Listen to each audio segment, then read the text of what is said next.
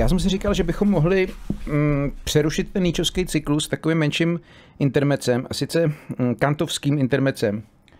Vzhledem k tomu, že teďka vlastně znova vyšla kritika čistého rozumu, která je ústředním dílem vlastně filozofickým nebo jedním z těch úplně nejvýznamnějších. Máme starou, ve starověku Platonovu ústavu jako vlastně takový asi nejvýznamnější dílo a potom v, novově, v novověku plus vlastně i moderně, řekněme od Descartes do dneška v tom období ta kritika čistého rozumu je takový dílo považovaný za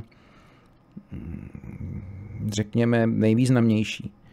Je to jako dílo vlastně brutální, čte se to jako blbě. Je, je to filozoficky skutečně hardcore. Mm, na druhou stranu, ale je to skutečně je, je to významný. No. Nedá, se to, nedá se to pominout a jsou tam jako významné poznatky, pokud jde o tu ústřední filozofickou otázku, kterou, je ta, kterou teda je to tázání se po tom, čím jsou věci o sobě.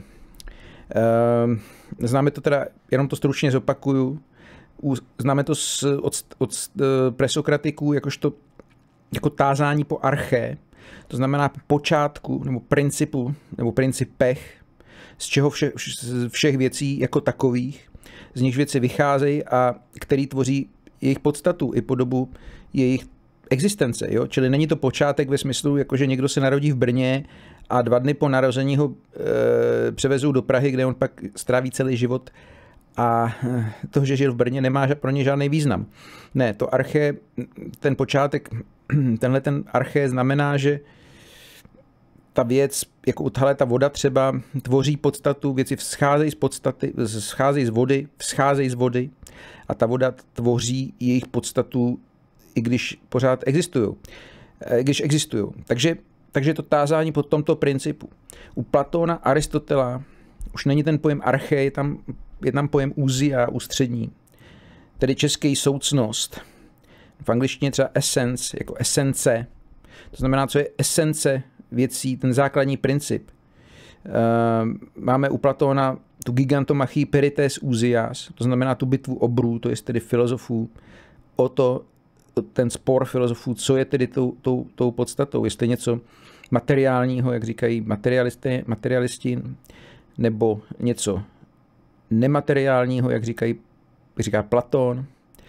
U Aristotela máme tu otázku definovánu jako tázání se po tom, co je soucno jako takové a co mu o sobě náleží.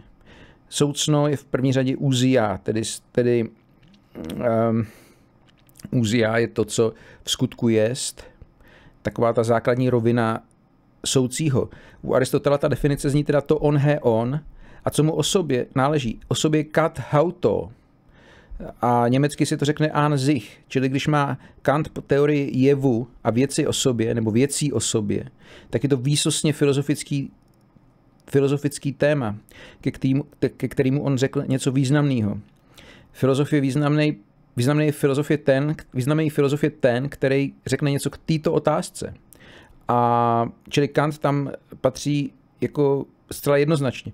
Já to říkám proto, protože on bývá někdy vykládán velmi školomecky a školsky, takže to je jakoby hm, člověk vlastně, že si zabíjá vědou, dobovou, dobovým hm, hledáním principů dobový přírodovědy, Newtonovský a, a geometrie, nebo vlastně matematiky jako takový a euklidovský geometrie a že teda má ty kategorie a, jo, a že má, eh, je tam to téma antinomií, že teda my nemůžeme rozhodnout, jestli svět má počátek, nějakou první příčinu nebo nemá, jestli je omezen časově a prostorově. To jsou takové věci, které jsou relativně známý, pak třeba je znám kategorický imperativ, jo, a výsledek je, že ten člověk, nebo že Kant působí jako sterilní, suchopárný akademický myslitel, ale to je hrubý omyl. Já jsem měl tu kliku, že jsem se k tomu dostal přes Schopenhauera, který byl vlastně kantovcem eh, v některých podstatných ohledech, rozvíjel to jeho filozofování, ten styl jeho a velkou část toho Kantova eh, díla nebo velkou, prostě nějakou velmi podstat, podstatnou část, řekněme, jakoby přejí, přejímal a hájil. A Schopenhauer mm, na rozdíl od Kanta je mistrem jasného výkladu, nebo dobrýho, jakž tak srozumitelného výkladu, protože vykládat filozofii je těžký. Kant ostatně sám říká, že sám to ví o sobě, že není mistrem jako srozumitelného výkladu. Ale Schopenhauer to vykládá jednak podstatně mm, srozumitelnějc, jednak eh, tak, že ukáže to, co na tom je filozoficky významný a co, že to vlastně strhující. Ta teorie, že Kantova, která snad předběžně můžeme říct, je vlastně určitý typ idealismu, to znamená, on ukazuje, že hmotné věci eh, doslova říká, jsou v nás, to znamená čas a prostor jako jsou funkce naší, jsou to formy eh, naší mysli, jsou to funkce našeho mozku, nebo řekněme možná organického mozku, to přesně nevím, jak je to u zvířat, ale kdyby nebylo organického nebo lidského mozku, tak není času a prostoru. Jo? To znamená, kdyby na světě nebylo lidí, eh, není čas a prostor. To znamená, není samozřejmě ani to, eh, co je v čase a prostoru, jakožto eh, nejsou žádný časoprostorový soucna. V přírodovědě, třeba u astronomů často najdeme, jak prostě oni jsou fascinovaní tím vesmírem a těma dálavama, jo, a tam nějaký ty galaxie a kde si co si. No jo, jenže ten prostor existuje podmíněně, je to teda funkce lidský mysli. Tohle všechno říkám předběžně, protože si to eh, pak pevně doufám řekneme tak, aby to bylo srozumitelné. A nicméně tím si aspoň, aspoň trochu nastínit, v čem je ten význam hlavní, filozofický. Že tedy věci v čase a prostoru tady jsou pouze pro nás, nebo jsou to naše představy, nebo existují tehdy, když my je nahlížíme, ale pokud si odmyslíme to naše vnímání věcí, tak e, ty věci jakožto hmotný předměty v čase a prostoru by neexistovaly. Je tam určitá vlastně podobnost se snem, kdy my ležíme v posteli a myslíme si, že procházíme třeba nějakou krajinou ve snu, ale pak se zbudíme a žádnou krajinou, víme, že jsme žádnou krajinou neprocházeli. A můžeme říct, určitý, určitá analogie je v tom, že i v tom bdělém stavu my jako velmi intenzivně tady něco vnímáme okolo sebe a myslíme si naivně, obvykle, že ty věci by tady prostě byly, i kdyby tady člověk nebyl. Ale to je právě ten omyl. Kant ukazuje dost přesvědčivě, že, že tomu tak není. Že ty věci tedy by tady nebyly, kdybychom my je nevnímali s těma funkcema svýho, svý mysli, svýho myšlení a že tedy existují pouze podmíněně. A materialismus je naivní teorie. Ma- materie ne, by neexistovala bez, bez forem lidského mozku. Ale to, to jako předbíháme, jo? tohle je dost složitý už samo o sobě, ale jenom abych to aspoň trochu nastínil. Ta kniha eh, je teda, jak jsem řekl, významná, ale zároveň teda brutálním způsobem psaná. On, eh, teda Kant je, je to daný tím, že jednak teda obtížností e, té látky, kterou se zabývá, je to, to téma je samo o sobě těžký v tom smyslu, že vlastně naše myšlení a jazyk taky jsou namířený nebo určený k tomu, abychom přírodou jaksi, k tomu, abychom zkoumali svět, ale ne abychom zkoumali tu mysl samu. To znamená, abychom zkoumali, my zkoumáme s Kantem to, jak ta mysl poznává svět. Čili ne, že zkoumáme svět, jako to vidíme třeba u, u Aristotela, kde on popisuje v takový takovým obrovským prostě takový tsunami poznání, kdy prostě všechno probere od logiky po nějaký e, zoologický nebo botanický pozorování a zkoumá vlastně svět. Ale tady to je jinak. Tady zkoumáme fungování naší mysli, která ten svět poznává nějak. A už, už tohle je vlastně trochu problém, že my se musíme obrátit e, k té naší mysli zpátky, což už samo o sobě je takový trošku nepřirozený. Za druhý, Kant eh, jako má rád odbornou hatmatilku, jakmile tam může napálit nějaký mm, supervědecky znějící termín, tak to udělá. Jo, si, takže to je samý syntéza, aprehenze, apercepce, analýza, agregát. Uh, jo, jako jede, jede tam prostě tahle ta hatmatilka a je to trošičku takový, autistický. No, on píše hodně vlastně jakoby pro sebe a moc nevnímá, si myslím. On třeba tam občas říká, že to už si čtenář domyslí, další příklady, jo? nebo uh, tím už se snad zabývat nemusím, ale to by měl, protože to jako bych mu garantoval, že to si skoro žádný čtenář nedomyslí.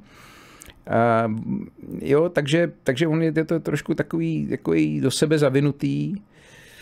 Mm, on tam říká, že vlastně nějaký vysvětlivky a příklady tam jako moc nich tam nedával, protože to není, nemá být populární dílo a že mm, tudíž se to jako bez toho obejde, jo? ale dodnes, to znamená vlastně za rok uplyne nějakých 240 let, jestli to počítám správně, od vydání, od prvního vydání té kritiky a dodnes se vedou polemiky mezi velmi chytrýma lidma, kantovcema, o některých eh, částech té knihy, jak tomu rozumět. Jo. Takže, takže prostě to, to, to nezvládl, řekl bych, ve vší úctě měl, kdyby ta, ta kniha by byla o trošičku delší, ona je už hodně tlustá teď, což byl taky jeho argument, že by to bylo prostě strašně dlouhý, ale kdyby byla o 3-5% delší, tak by to stačilo a bylo by to podstatně srozumitelnější. On pak, on taky spěchal, jo, on už jako, on vlastně to dopsal, když mu bylo, myslím, 57, nebo vydal a 11 let na tom pracoval, dost jako tvrdě, a pak chtěl ještě, pak ještě napsal pak chtěl vlastně zpracovat ještě etiku a estetiku. Tu etiku to udělal v kritice praktického rozumu, tu estetiku v kritice soudnosti.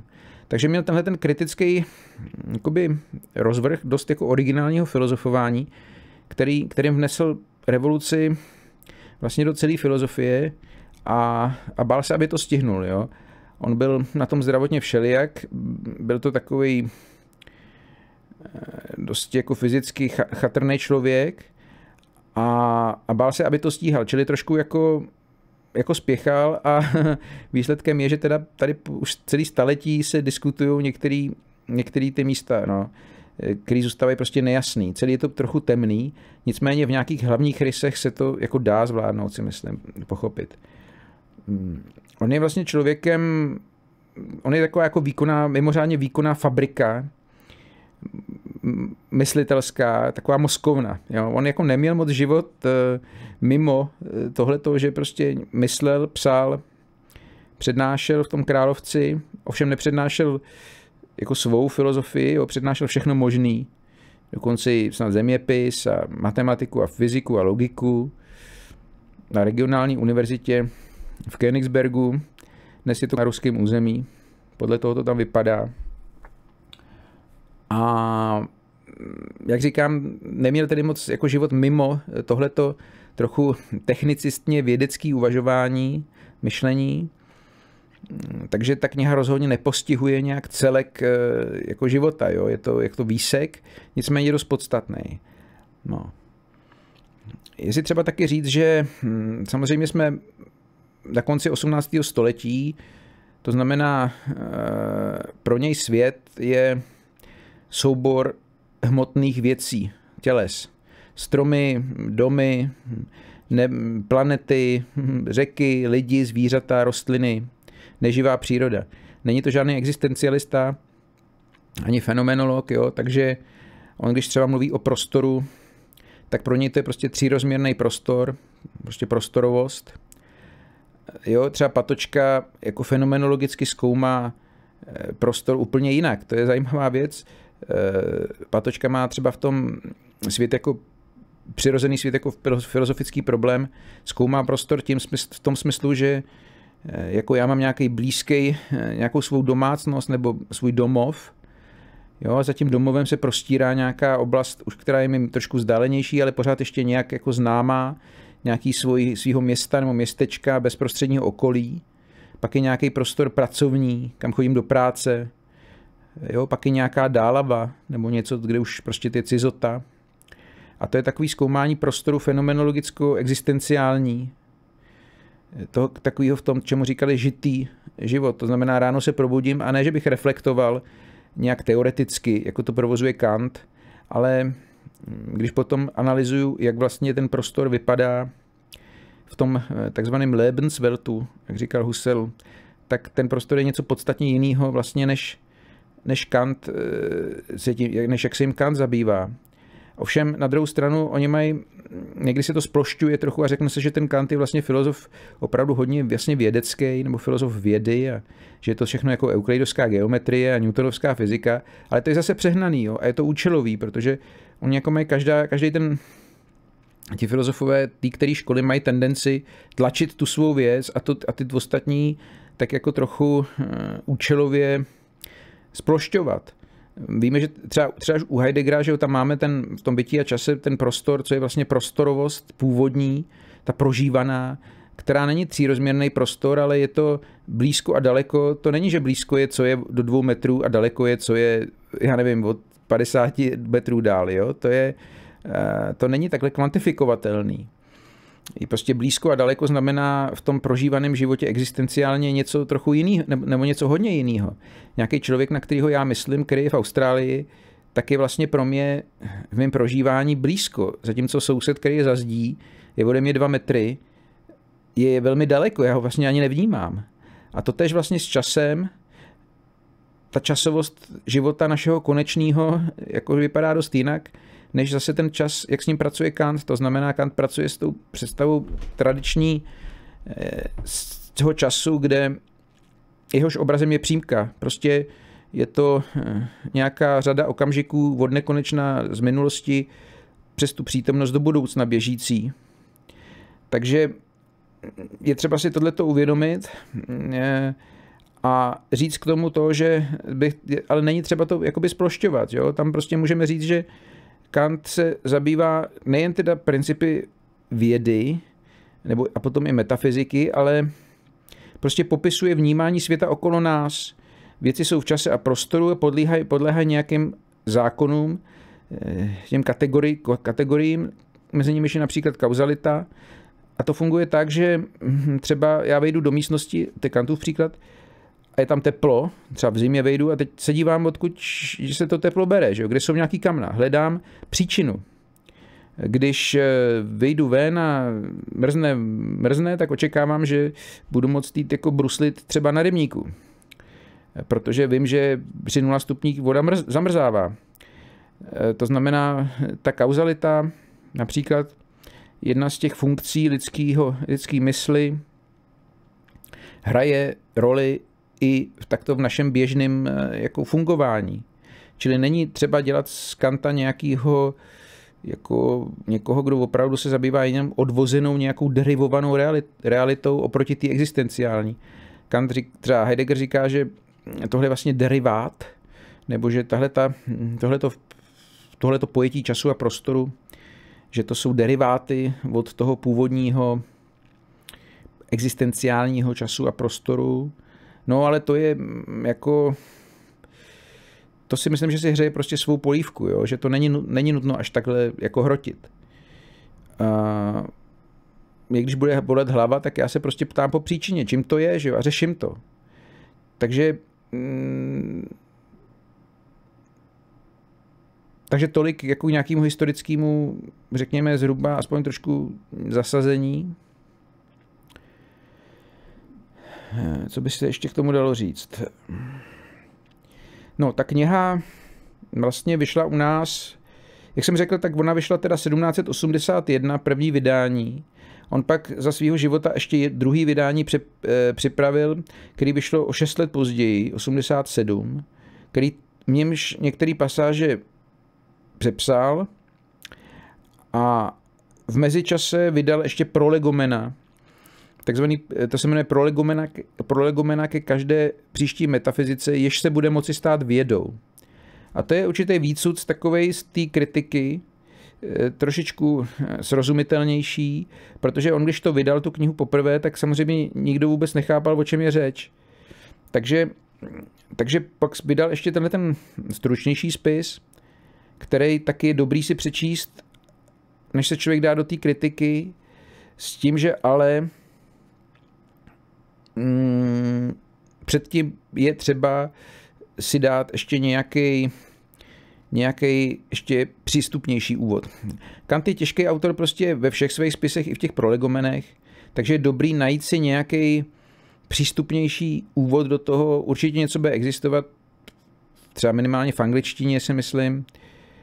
A dovolil bych si doporučit toho Schopenhauera. On napsal vlastně, on napsal teda Jednak eh, text jménem Kritika Kantovy filozofie. To je obsaženo v tom prvním díle Světa jako vůle a představy, to jeho hlavního díla. A tahle ta kritika Kantovy filozofie, to je nějakých 120 strán. Je to nejen teda kritika eh, Kanta, ale taky výklad eh, toho, co se tam vlastně říká v té Kantově teoretické filozofii. Jo, teoretický znamená hm, týkající se vlastně, týkající se teda poznávání a metafyziky, což je ta kritika čistého rozumu. Pak má to dílo praktický, který si týká našeho jednání, to je kritika praktického rozumu, etika jeho. Pak je teda ještě ta estetika. Mimochodem tyhle ty dvě kritiky druhý už tak významný rozhodně nejsou. Ta kritika soudnosti, tudíž ten výklad jeho estetiky, je považovaný za poměrně jako ceněná, ceněná věc, ale problém je, že Kant evidentně nebyl úplně nějakým velkým estétem. Jo. On, jeho prostě zajímalo, jak funguje lidská mysl a takže vkusy, pardon, soudy vkusu, jo, výroky, něco je krásný, třeba, tento výrok, to je krásná věc, je dost jako specifický a jeho to zajímalo, na čem ten soud stojí, jestli má objektivní platnost, nemá, jo, a tak, že, takže to takhle zkoumal, ale trochu, mi tam, trochu tam hapruje to, že už vidíme z toho, jak píše, jo, že to není žádný jako literát, na rozdíl od právě třeba Schopenhauera nebo ničeho, a že umění, není to prostě člověk umění, že jo, který by nějak umění hodně prožíval, obávám se. Což je trochu problém u někoho, kdo píše o, o estetice. E, na druhou stranu, jako je to veleduch, mimořádný, geniální, takže jako tím, že si to člověk přeč, prostuduje, rozhodně nic jako neskazí, jo? ale není to asi úplně to prvořadý, což ta kritika čistého rozumu je. Já jsem třeba do té kritiky soudnosti tuhle kouknul a tam zrovna napsal, že jako nejvyšší, nejvyšší umění, nejvyšší druh umění je básnictví. Ehm, ti estetici se zabývali vlastně jakoby eh, hierarchii umění, jo? jaký umění nejsilnější. No ale tady hned člověka zarazí, jako jaký, jaký básnictví, to to ne, jako hudba, že jo. Tam jako, jako sorry, jako, ale tam nelze jako moc se o ničem bavit, kdo, eh, jo, to, to mi přijde jako bez debaty. Eh, no, takže, takže jo, ta etika třeba tam zase to je ta takzvaná formalistická etika, kategorický imperativ jako princip etického jednání. Tam to dost jako sepsul, myslím si úspěšně, jak Schopenhauer, kdy řekl, že etika těžko může být vůbec věcí jako rozumu, proč by měla být etika záležitosti rozumu. Jo? Nebo že kategorický imperativ je prostě fikce. Každý, kategorický znamená nepodmíněný, jo? ale ve světě není nic nepodmíněného. Kant to vyvozoval, propojoval to eh, prostě do transcendentna, ale to, to, to prostě ne, jsem, myslím, že těžko je to udržitelný. Eh, Nietzsche, že ukázal, že tyhle ty všechny věci jsou podmíněny psychologicky a sociálně. T, ty, ty příkazy, ta, ta morálka v tom kantově smyslu, přesně v tom, právě v tom kantově smyslu je eh, prostě hlasem stáda v jednotlivci. Tam myslím, že to lze na tom demonstrovat ty Nietzschovy vývody velmi dobře. Je to prostě morálka poslušnosti, jo, která se dá vysvětlit psychologicky daleko jednodušejc než tím složitým kantovým způsobem. Ale to teď není tím jako tématem. Jo? Takže ta kritika vlastně má teda, je dost jako složitě členěná, ale zhruba se dá říct, že první třetina je věnovaná výkladu toho, jak si Kant myslí, že funguje lidský poznávací aparát – smysly, hm, jak funguje, smyslovost, smyslový vnímání a myšlení, neboli teda verstand, rozvažování. A druhá část je věnovaná, to je zhruba třetina nějakých 250 stran, včetně teda toho, tam je úvod a předmluva ještě, nebo předmluva a úvod. A pak je nějakých, zbylý ty dvě třetiny, vlastně teda podstatně větší část té knihy je vlastně vyvracení, vyvracení destrukce takových těch dogmatických představ, dogmatických znamená právě nekritických, proto ta kniha se jmenuje Kritika, kde ukazuje, že to starší filozofování, to znamená taky to scholasticko-leibnicovský, on vlastně Leibniz byl takový mm, filozof číslo jedna v, v tom prostředí, v kterém Kant se pohyboval a Christian Wolf byl mm, takový Leibnicovec, skrz kterýho ten Leibniz jakoby působil a Kant vlastně tam vyvrací to jejich filozofování. Ukazuje, že nelze jako špekulovat, mudrovat o tom, že Bůh je takovej nebo makovej a duše, že je nesmrtelná a že svět má první příčinu a podobně, nebo že máme důkazy boží existence a ukazuje věcně, přísným, přísně logickou argumentací věcnou, kde jsou chyby e, při takovémhle myšlení, že my nemůžeme eh, tu lidskou zkuš, ten zkušenostní svět takto e, jak si překračovat, protože to je mlácení prázdný slámy.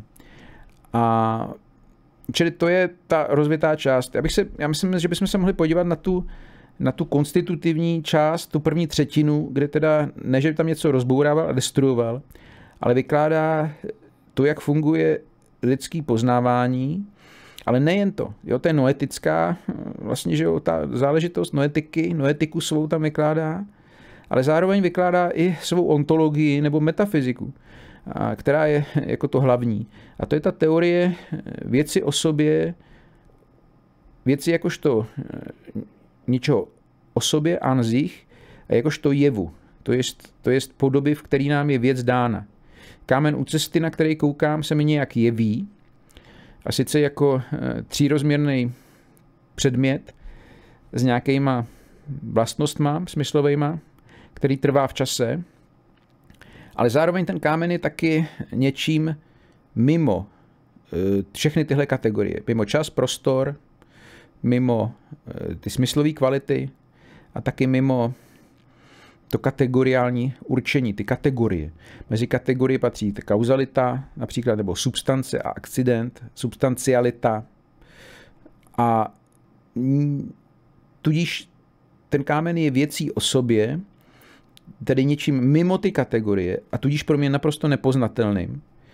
Jo? Jestliže to není v čase a prostoru, tak to není žádná věc pro mě. Že jo? To prostě jakoby neexistuje, jakožto v tom jevovi, jako v tom v zkušenostním světě. A zároveň je to tahle ta věc, která tam jako leží, ta, ten hmotný předmět. A tak je to se všema věcma ve světě s celým světem. Ten svět má nějakou svou odvrácenou stranu, metafyzickou můžeme říct. A pak má tu stránku, kterou my poznáváme. A to je vlastně ta jeho teorie. A to si, to si vysvětlíme. Já pořád se předbíhám trochu, ale ono těžko o tom mluvit, aniž by člověk jako naznačil aspoň trochu, o co tam jde, v hrubých rysech.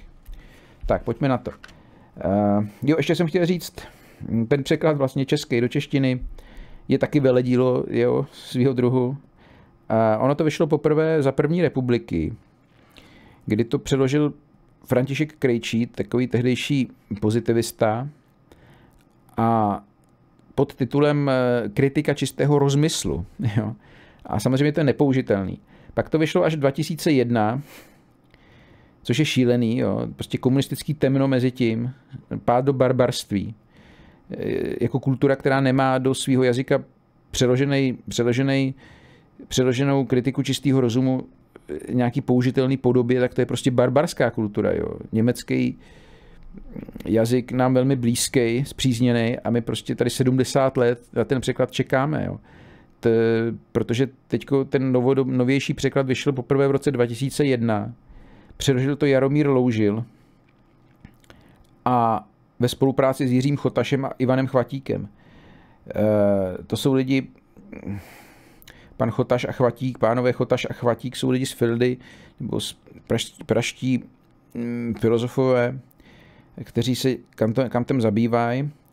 A e, tady čteme, teď to vyšlo teda, takhle to vyšlo před těmi 20 lety a teď to vyšlo znova a stojí tady druhé upravené vydání připravili Jan Kuneš a Milan Sobotka. Takže máme vlastně pět lidí, kteří na tom pracovali. A to ještě nejsou všichni. Já myslím, že v tom doslovu je uvedeno ještě, že... Já to schválně najdu, protože tohle je taková kuriozita. Jo? Já myslím, že není kniha, která by, na který by se, která by se, na jejímž překladu by se podílel celý tým lidí. Tady vlastně čteme v tom doslovu, Jo, tady ještě ten první překlad toho nového vydání v roce 2001 lektorovali Jindřich Karásek a Karel Novotný. No. Takže další dva lidi. Jo. Jindřichu Karáskovi jsem chodil na seminář na Fildě a byl, bylo to výborný. Takže to jsou vlastně přední naši odborníci na Kanta. Jo. A je to sedm, šest lidí plus ten překladatel, jo, což je opravdu kuriozita. Jako týmová práce a jeho odpovídá to jako významu a obtížnosti toho díla. No. Že jo, Platon, Aristoteles, to je mm, prostě Platona přeložil výborně František Novotný za první republiky, Aristotela překládal Antonín Kříž a to, to vydal třeba Petr Rezek že jo, po revoluci a učinil tam nějaký drobný úpravy spočívající v tom, že tam přidal eh, prostě do závorek ty řecký výrazy. Nevím, myslím, že jinak už to víc neupravoval a je to, jako jsou to dobrý překlady, myslím si. A byl to ale jeden překladatel, jo, ale tady máme prostě opravdu tým jako špičkových odborníků. No. Eh, takže to už taky něco vypovídá. Takže ta kniha, to k tomu dělení, to jsme si řekli. A takže začíná to vlastně předmluvou k druhému vydání, která v tom prvním nebyla. A v tomhle on eh, jako vysvětluje eh, to, čemu říká kupernikánský obrat.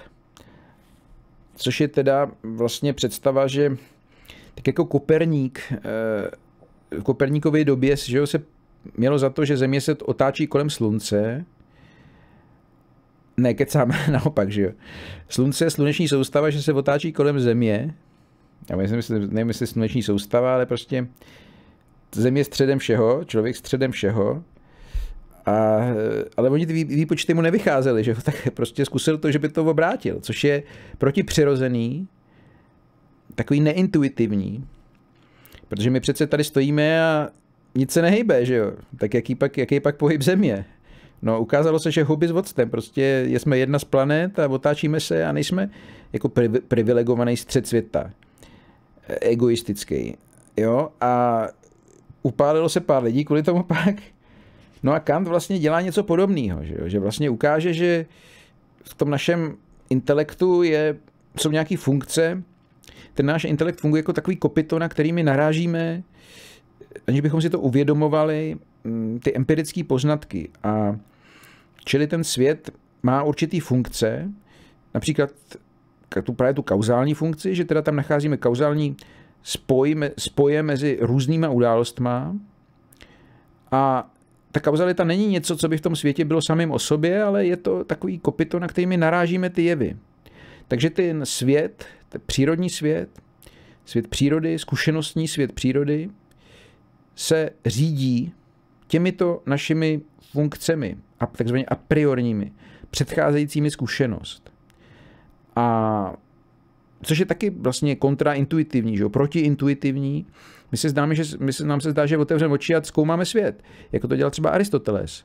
No ale houby s vodcem, tady je prostě už nějaký předběžný rozvrh těch věcí, který řídí to naše poznávání potom a který konstituje eh, co do formy ten svět.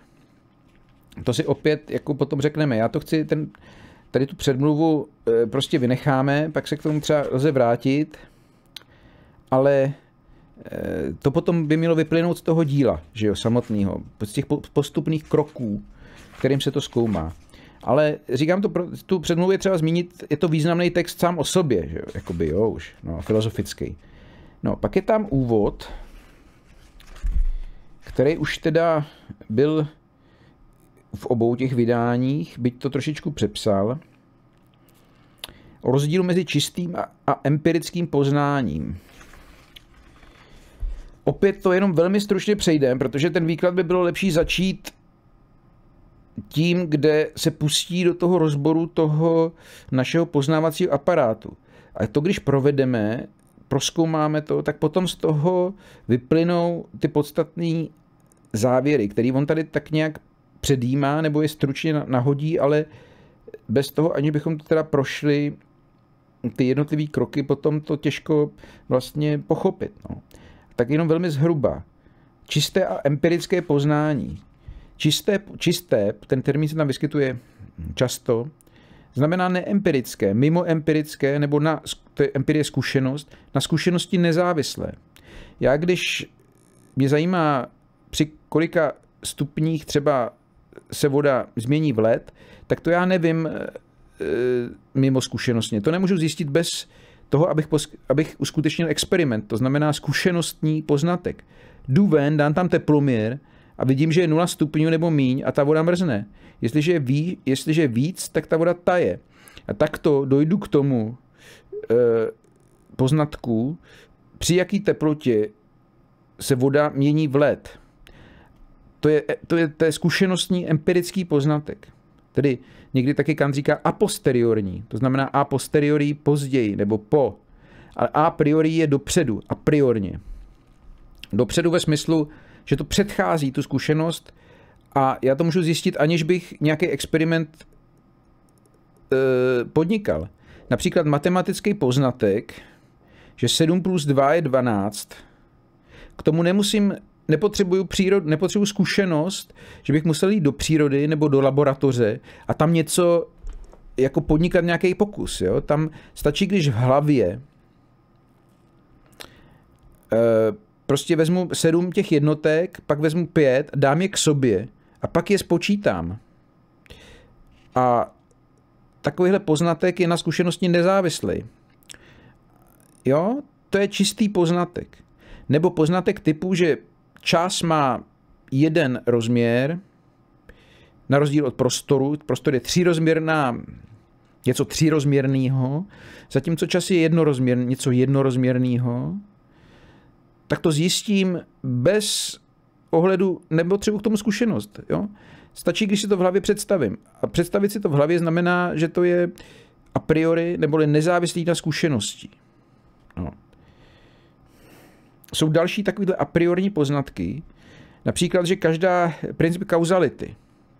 Co to je princip, co to je kauzalita? Zákon kauzality. Jak, jak, je jeho, jak je jeho znění? No, zní to takto. Každá změna má nějakou, nebo každý dění, každá událost musí mít nějakou příčinu. Již je nějaká jiná událost, která v čase předchází. Neboli teda nic se neděje bez příčiny. To já taky jakoby vím vlastně bez ohledu na zkušenost. To není něco, co bych vyčetl ze zkušeností, ale je to princip, který já mám ve svém mozku, jakožto jeho vrozenou funkci. Hm, můžeme říct. No, pak probírá rozdíl mezi analytickými a syntetickými soudy. V, ní, v těch analytických Analytický soud. Co je to soud? Soud je spojení nějakých dvou pojmů. Třeba Sokrates je smrtelný, subjekt a predikát. Případně dvou soudů. Jestliže prší, pak jsou mokré ulice. To je aristotelská základní logika. Myšlení je vlastně souzení, to znamená, já v hlavě spojuju pojmy a něco z nich vyvozuju. Sokrates je smrtelný, premisa, lidé, všichni lidé jsou, teda pardon, Sokrates je člověk, lidé jsou smrtelní, druhá premisa, a něco z toho vyvodíme. To je syllogismus takzvaný. A sice, že Sokrates je smrtelný. Dostanu nějaký nový poznatek. Kant, když psal, když psal tu knihu, tak to je, to, je, to je plot jeho myšlení. On žádný empirický poznatky nepotřeboval, On si sedl do, do místnosti, začal myslet, zapisoval to a výsledkem jsou nějaké nové poznatky zásadní. Jo? A to myšlení spočívá v soudech, vlastně ve vyvozování poznatků ze soudů, ze spojování pojmů. E, to je abstraktní myšlení. Na rozdíl od toho, když něco nazírám empiricky, to znamená něco vidím, slyším, hmatám, já otevřu oči a vidím, že přede mnou je nějaký dům. Tak třeba, tak to je poznatek, nějaký, to je empirický poznatek e, smyslový. Není to poznatek abstraktního myšlení.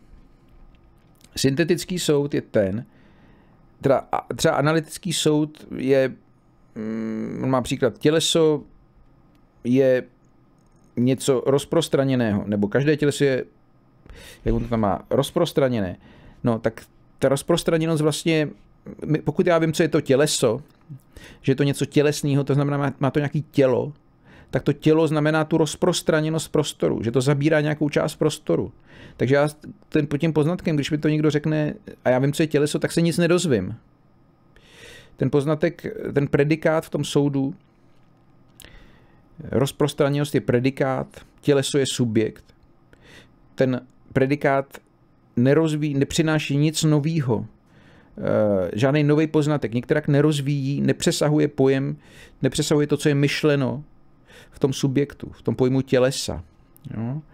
A když mám soud jako ten syntetický, tak tam dochází k tomu, že ten predikát rozšiřuje. Eh, ten soud představuje rozšíření toho mýho poznatku. Ten, v tom predikátu se jde, vychází mimo pojem toho subjektu, takže já se dozvírám něco nového. Syntetický soud, příklad tady uvádí, všechna tělesa jsou těžká, což je trošičku takový dobový, dobově podmíněný, protože měli představu, že existují tělesa, která nejsou těžká, ale můžeme říct, že třeba syntetický soud je prostě každý empirický soud, že jo? tak eh, já nevím, jdu po ulici a řeknu, tamhle ten dům je třípatrový. To znamená, já spojím subjekt s nějakým s predikátem na základě toho zkušenostního poznatku. No, eh, necháme ten úvod být, protože bychom se zase jakoby předbíhali. A zase bychom říkali věci, které nemůžou být úplně jasný, nebo jenom těžko by mohly být úplně jasný. Možná by stálo za to podívat se vlastně na ten úvod až potom, protože ten úvod je vlastně určitý schrnutí. Dobrý, tak pojďme teda na tu, na tu vlastní kritiku, na to, co následuje potom, eh, po tom úvodu. Eh, ta první část se zabývá smyslovým vnímáním. Nikoli tak, že by eh, zkoumal jednotlivý smysly, jak funguje zrak nebo sluch, hmat, čich, chuť. To je těch pět našich smyslů. Ale jak si co do formy. S, s, ta kapitola se jmenuje Transcendentální estetika. Estetika nemá co dělat tedy s, v tomto případě s krásou nebo vznešeném. Je to od řeckého slova aisthesis, co znamená smyslový vnímání. Základem všeho smyslového poznání je počitek. To znamená, smyslový vnímání je to, když já něco vidím, slyším, hmatám, čichám, chutnám otevřu oči a vidím, že přede mnou třeba je nějaký dům, když se někde ocitnu. Do uší mi slyším třeba já nevím, kostelní zvony někde ve vesnici. A to jsou smyslový empirický věmy. A základní těch věmů je, je počitek. Peč, počitek německy Empfindung, a to je třeba si uvědomit, a Kant to neříká moc, tohleto výslovně, ale počítá s tím, že čtenář už to ví. Eh, počítek je nějaký dění v mém těle, prosím pěkně. Jo? Například, když něco vidím, tak eh, mm, ten počítek je eh, obraz na mojí sítnici uvnitř toho oka. Mimochodem vlastně dvourozměrný flek nějaký, s nějakou barvou a nějakým tvarem. A přesto my vidíme vlastně třírozměrný objekty. Nemluvě o tom taky, že ten, ob, ten flek na té sítnici je obrácený, že vzhůru nohama oproti tomu, jak ta věc reálně je. Čili už tady vidíme, že ten intelekt musí ten počítek nějak zpracovat, jo? nějak ho uchopit a nějak ho zprocesovat, abychom mohli říct, že my vidíme nějakou, eh, nějaký dům třeba. Tady už nám vzniká filozofická záhada, jak je možný, že vlastně, jestliže ty počitky jsou v našem těle, my přesto říkáme, že vnímáme něco, co je mimo naše tělo. Protože ten prostor to není něco, co by bylo záležitostí toho smyslového orgánu. Já když sáhnu na nějakou věc, třeba na strom, na kůru stromu, a cítím, tak cítím hru, počitky smyslový, tedy hrubost, ty kůry, jo, tvrdost, může být suchý nebo po dešti třeba vlhký.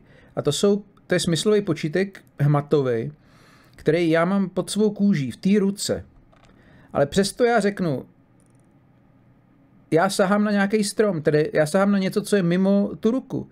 Jak já můžu říct, že sahám na něco, co je mimo, mimo tu ruku? No to je velká záhada, protože ten počítek je přece uvnitř té ruky. Kdybychom měli jenom ty počitky a e, žádnou další funkci té naší mysli, která ty počitky zpracovává, tak bychom nikdy nemohli říct, že tady nějaký vnější svět pro nás.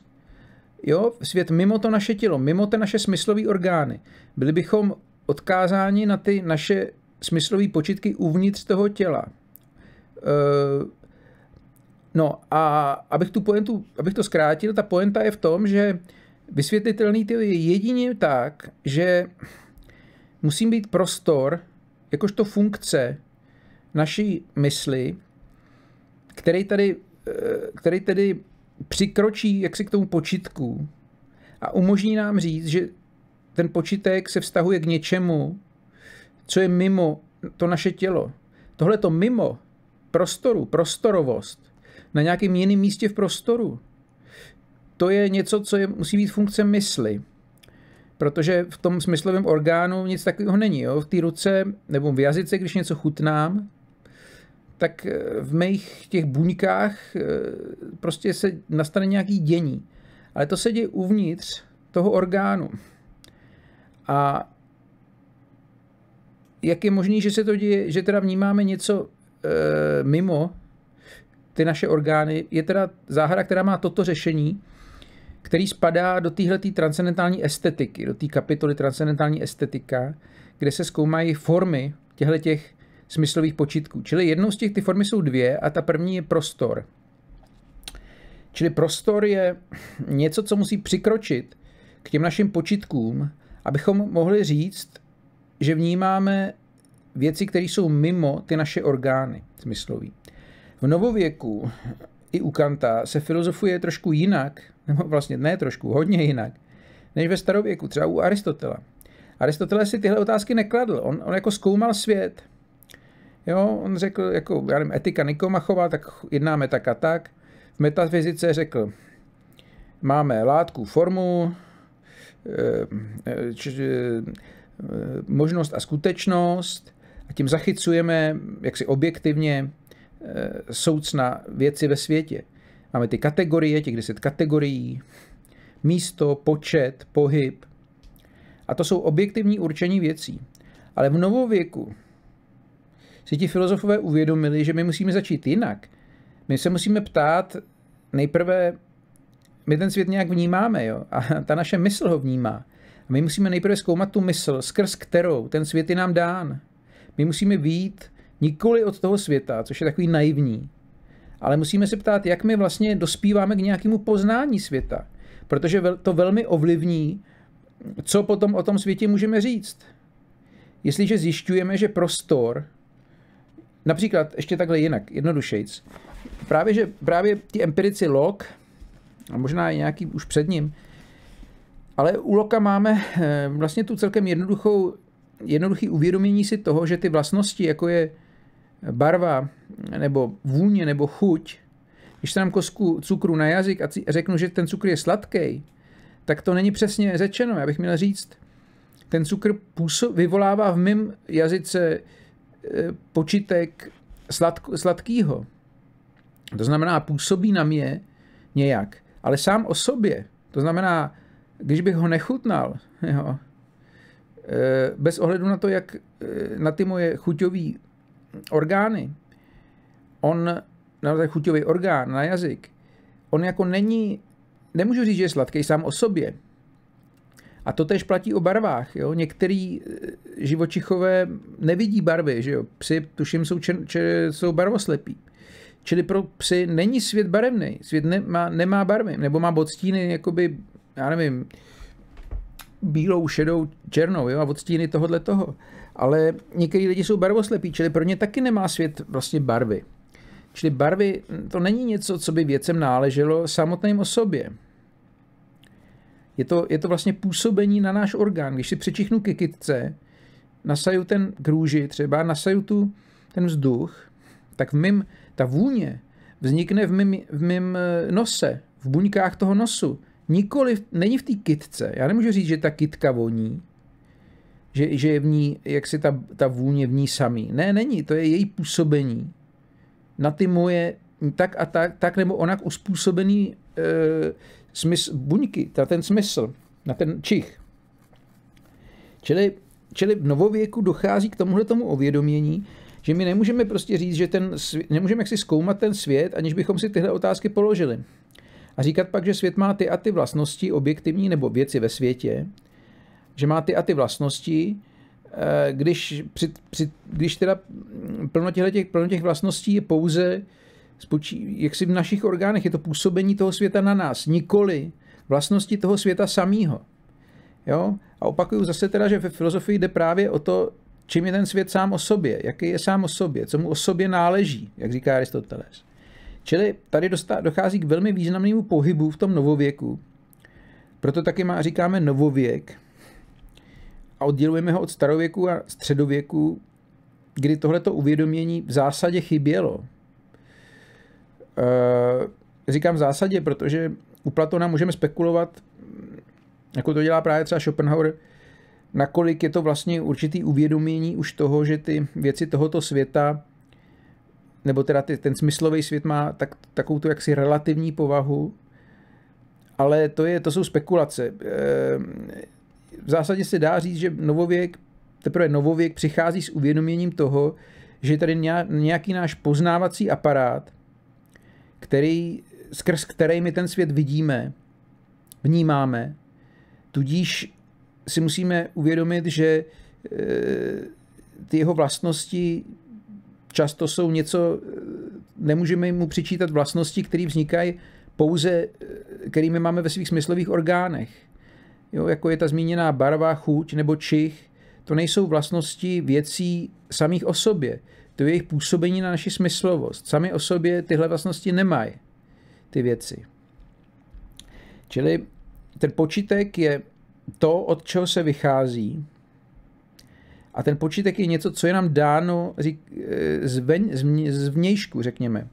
Eh, my jsme přitom pasivní. Prostě otevřu oči a něco vidím, nebo slyším, jo? aniž bych si to vymýšlel, nebo aniž by to byla nějaký moje zdání, nebo fikce, nebo nějaká fata morgana. Fata morgana eh, vyvstane v, jako v nějakém extrémním případě, kdy mám nějaký vidiny, ale normální běžný vnímání světa věcí okolo nás samozřejmě není žádná fikce, že jo? je to normální, prostě regulérní eh, vnímání těles okolo nás.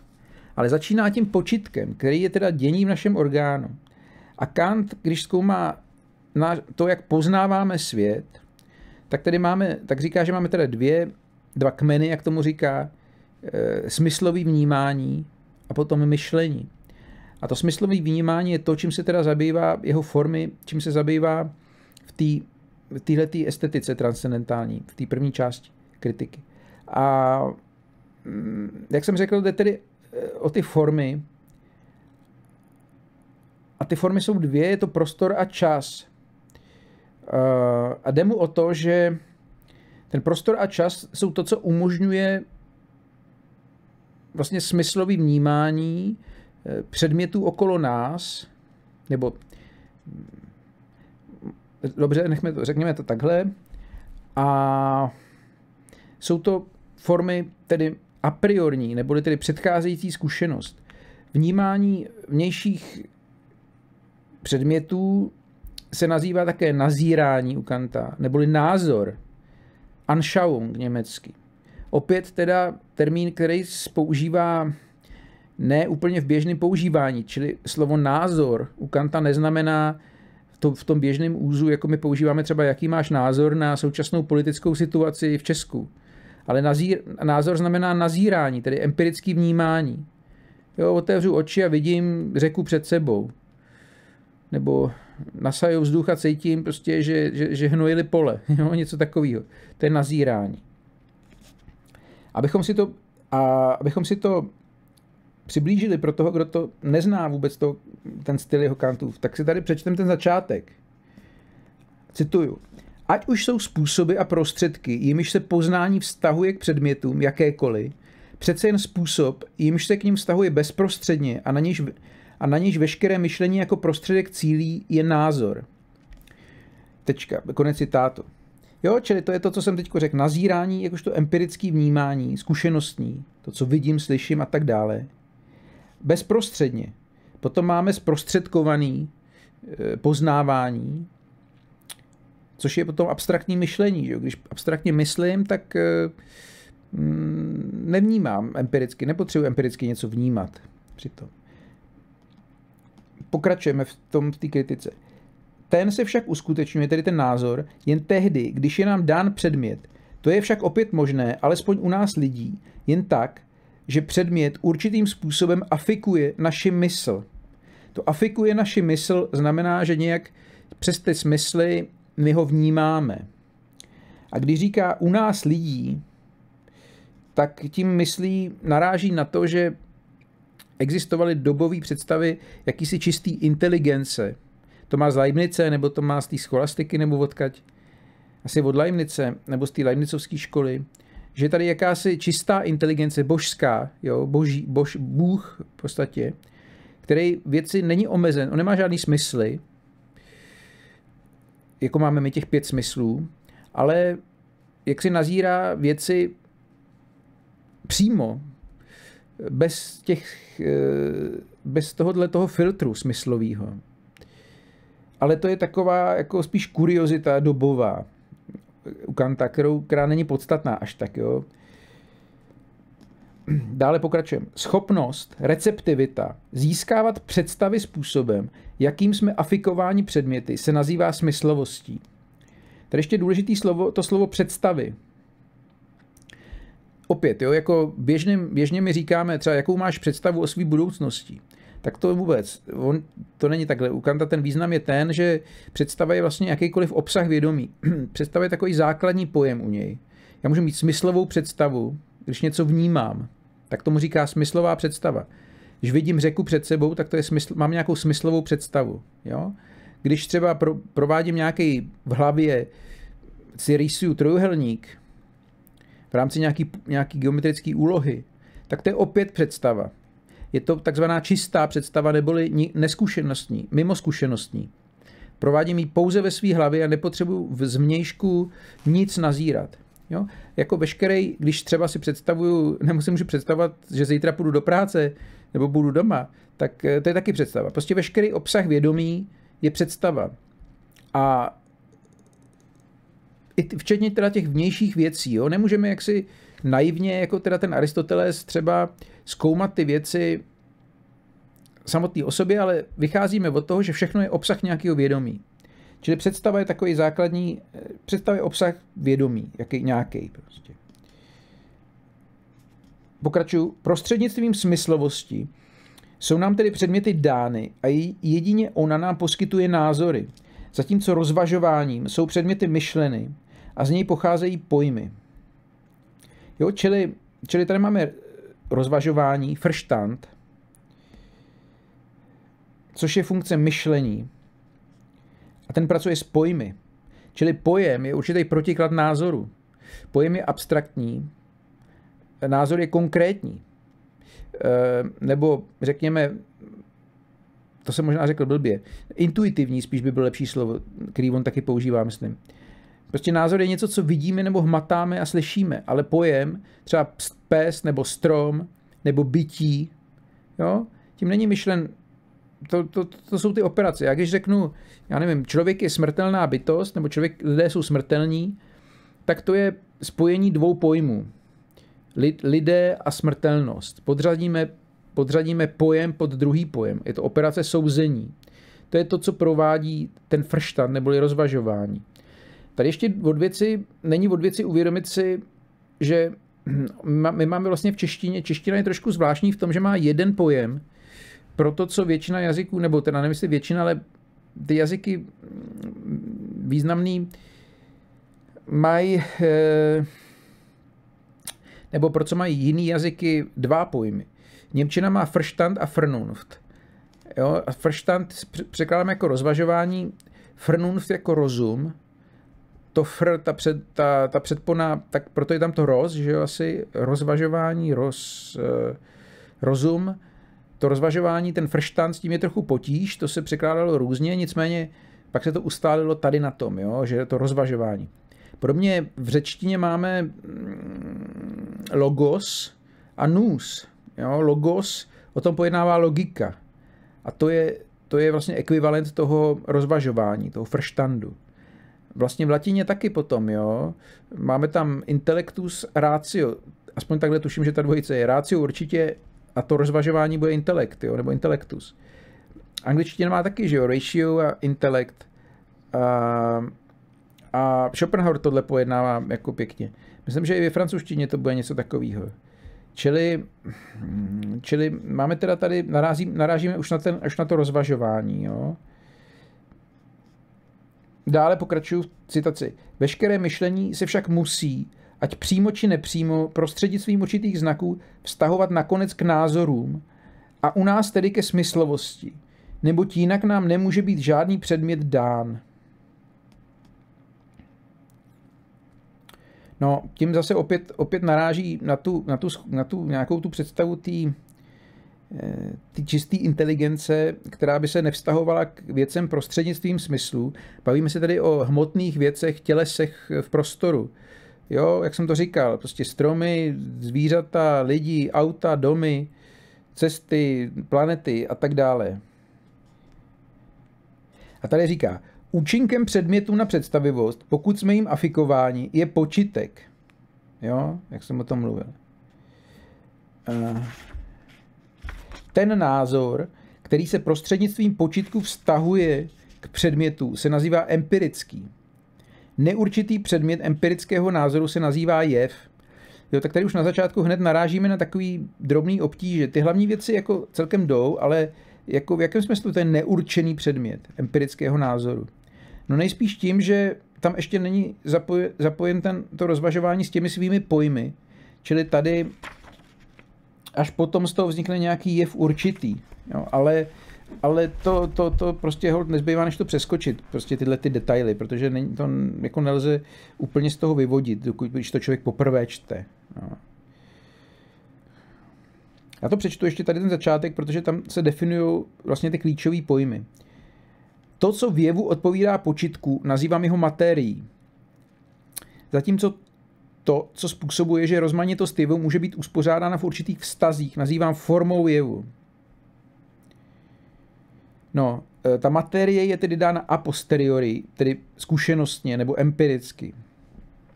A forma je dána a priori v mysli. Dále, čistými jsou představy, ve kterých není nic, co patří k počitku. Tedy, jo, čistý jsou ty představy, které se obejdou bez těch smyslových věmů. Tato forma čistá se nazývá čistým názorem. Když například z představy tělesa vyloučím to, co v ní myslí rozvažování, jako je substance, síla, dělitelnost, a právě tak i to, co patří k počitku, jako je neprostupnost, tvrdost, barva. Jo, to jsou smyslový věmy. Ještě mi z tohoto empirického názoru, co si zůstane, totiž rozprostraněnost a tvar. Ty patří k čistému názoru, který se uskutečňuje a priori v mysli, i bez skutečného předmětu smyslu nebo počitku, jako pouhá forma smyslovosti. Takže on tady provozuje vlastně tu transcendentální filozofii. Ten pojem transcendentální vlastně je to to, co je a priorní, ale ne úplně. Je to, je to část toho a priorního, protože do a priorních věd patří matematika, třeba ještě něco pak dalšího, ale to, co se vztahuje k tomu vnímání toho vnějšího světa předmětného, těch předmětů, tak to, to patří do transcendentální filozofie. On tady v té kritice čistého rozumu provozuje transcendentální filozofii. To znamená, to znamená prostě pátra, zkoumá náš poznávací aparát, pokud jde o jeho tyhle ty a priorní funkce, které tu zkušenost předcházejí a umožňují.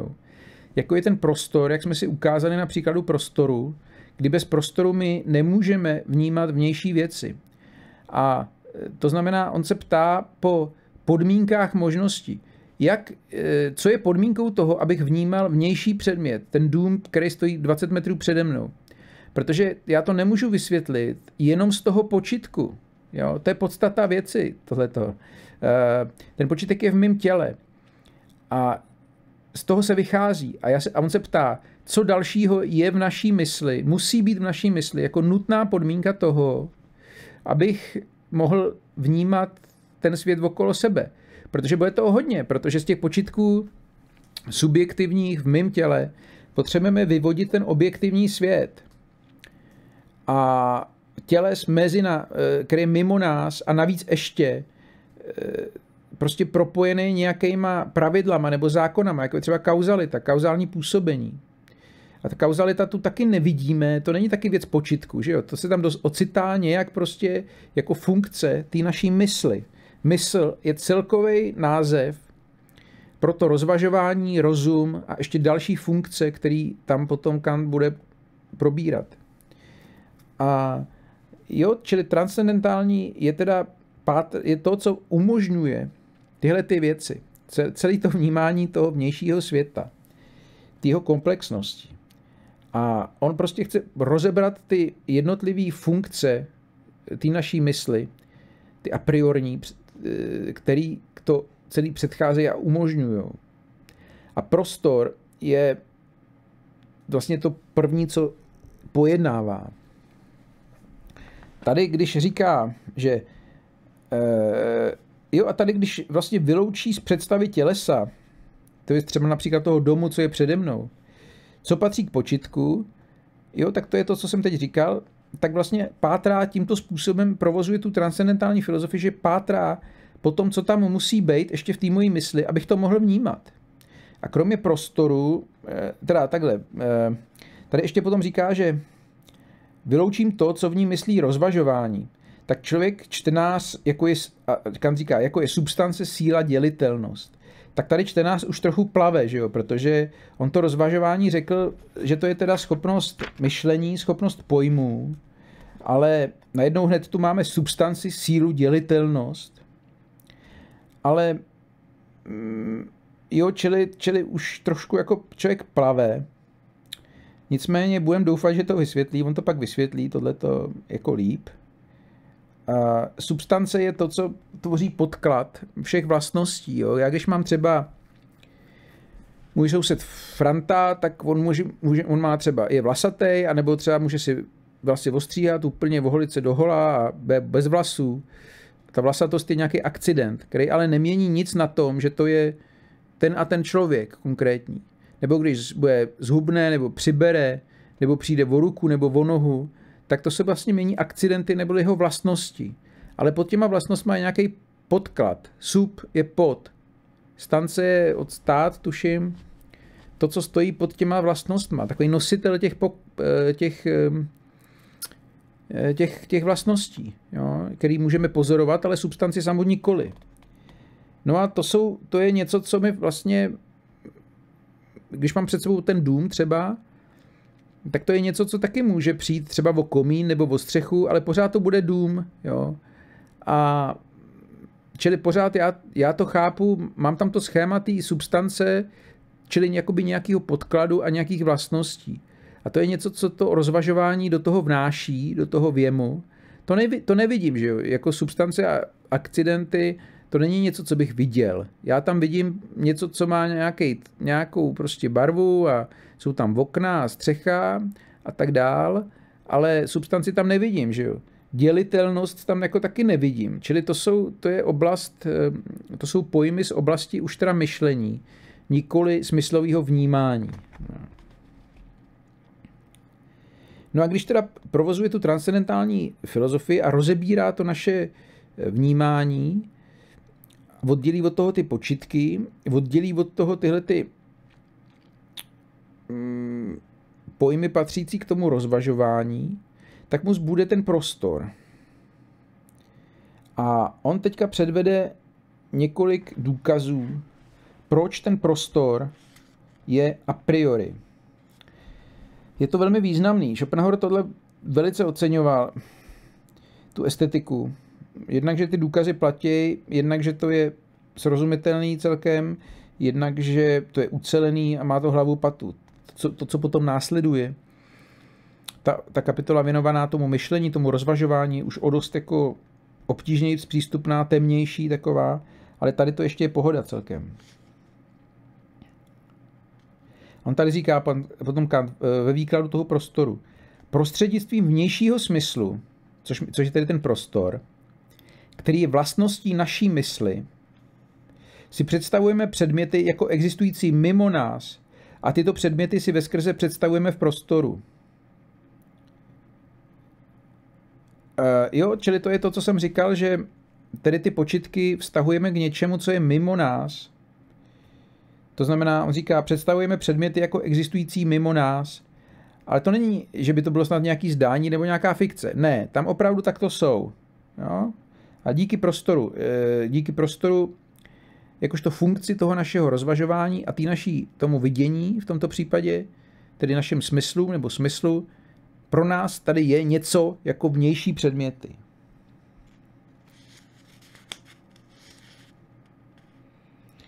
Tou druhou formou je čas. Hmm. A on říká Kant, ne, co je to teda čas? Není možné nazírat čas jako něco mimo nás. Uh, co je tedy prostor a čas? Jsou to skutečná i soucna? Jsou to sice pouhá určení, nebo i vztahy mezi věcmi, ale přece takové, které by jim náležely i o sobě, kdyby nebyly nazírány? No, ona to odpoví samozřejmě negativně. Jo? Jestliže to je vlastnost naší mysli, tak samotné předměty o sobě, jak jsou o sobě, nejsou v čase ani prostoru. A tohle to se někdy třeba Barclay už přišel na to, že George Barclay, který ho Kant vlastně vykládá chybně, jo, mimochodem potom tam, tak eh, jemu vlastně došlo, že to, jak John Locke rozdělil ty kvality věcí na ty, které jim náležejí, které jsou jaksi jenom v naší mysli, to jsou ty takzvané sekundární a nepatří jim samým, což byly tedy chutě, barvy, vůně, ale ty materiální vlastnosti o těch usoudil, že patří k ním samým. To znamená neprostupnost, tvár, tuším, rozprostraněnost. E, vlastně ty věci, tak jak jsou o sobě, byla hmota. Jo, hmota je skutečně objektivní určení, eh, co do, co do hmotných kvalit jsou ty věci, nebo takhle, věci o sobě, věci jsou o sobě co do hmoty. Jo, hmota je to, co objektivně existuje a co tvoří podstatu věcí o sobě u Loka. Ale Barclay, který přišel po něm, řekl, no proč, proč, bychom, proč by bychom měli tu neprostupnost, tu hmotnou stránku věci oddělovat od těch zbylých vlastností, když to je prostě pouze záležitost hmatu. Hmat je úplně stejný smysl jako ty ostatní. Čili i ta neprostupnost, neboli ta jaksi hmotná stránka věci, má, je taky stejně subjektivní jako ty, ty ostatní. Nepatří těm věcem samým o sobě. Což je vlastně dost jako radikální, těžko představitelný názor, protože s tou chutí a s, tou, s těma vůněma to si lze celkem představit, jo? to celkem ještě není tak hrozný. Ale když teda řekne, že já když i ten hmat vlastně je takto subjektivní, tak vlastně celý ten hmotný svět o tom hmotném, ten hmotný svět se před, před, před, prohlásí za něco takto subjektivního, co teda existuje v naší mysli, nebo v těch našich představách pouze.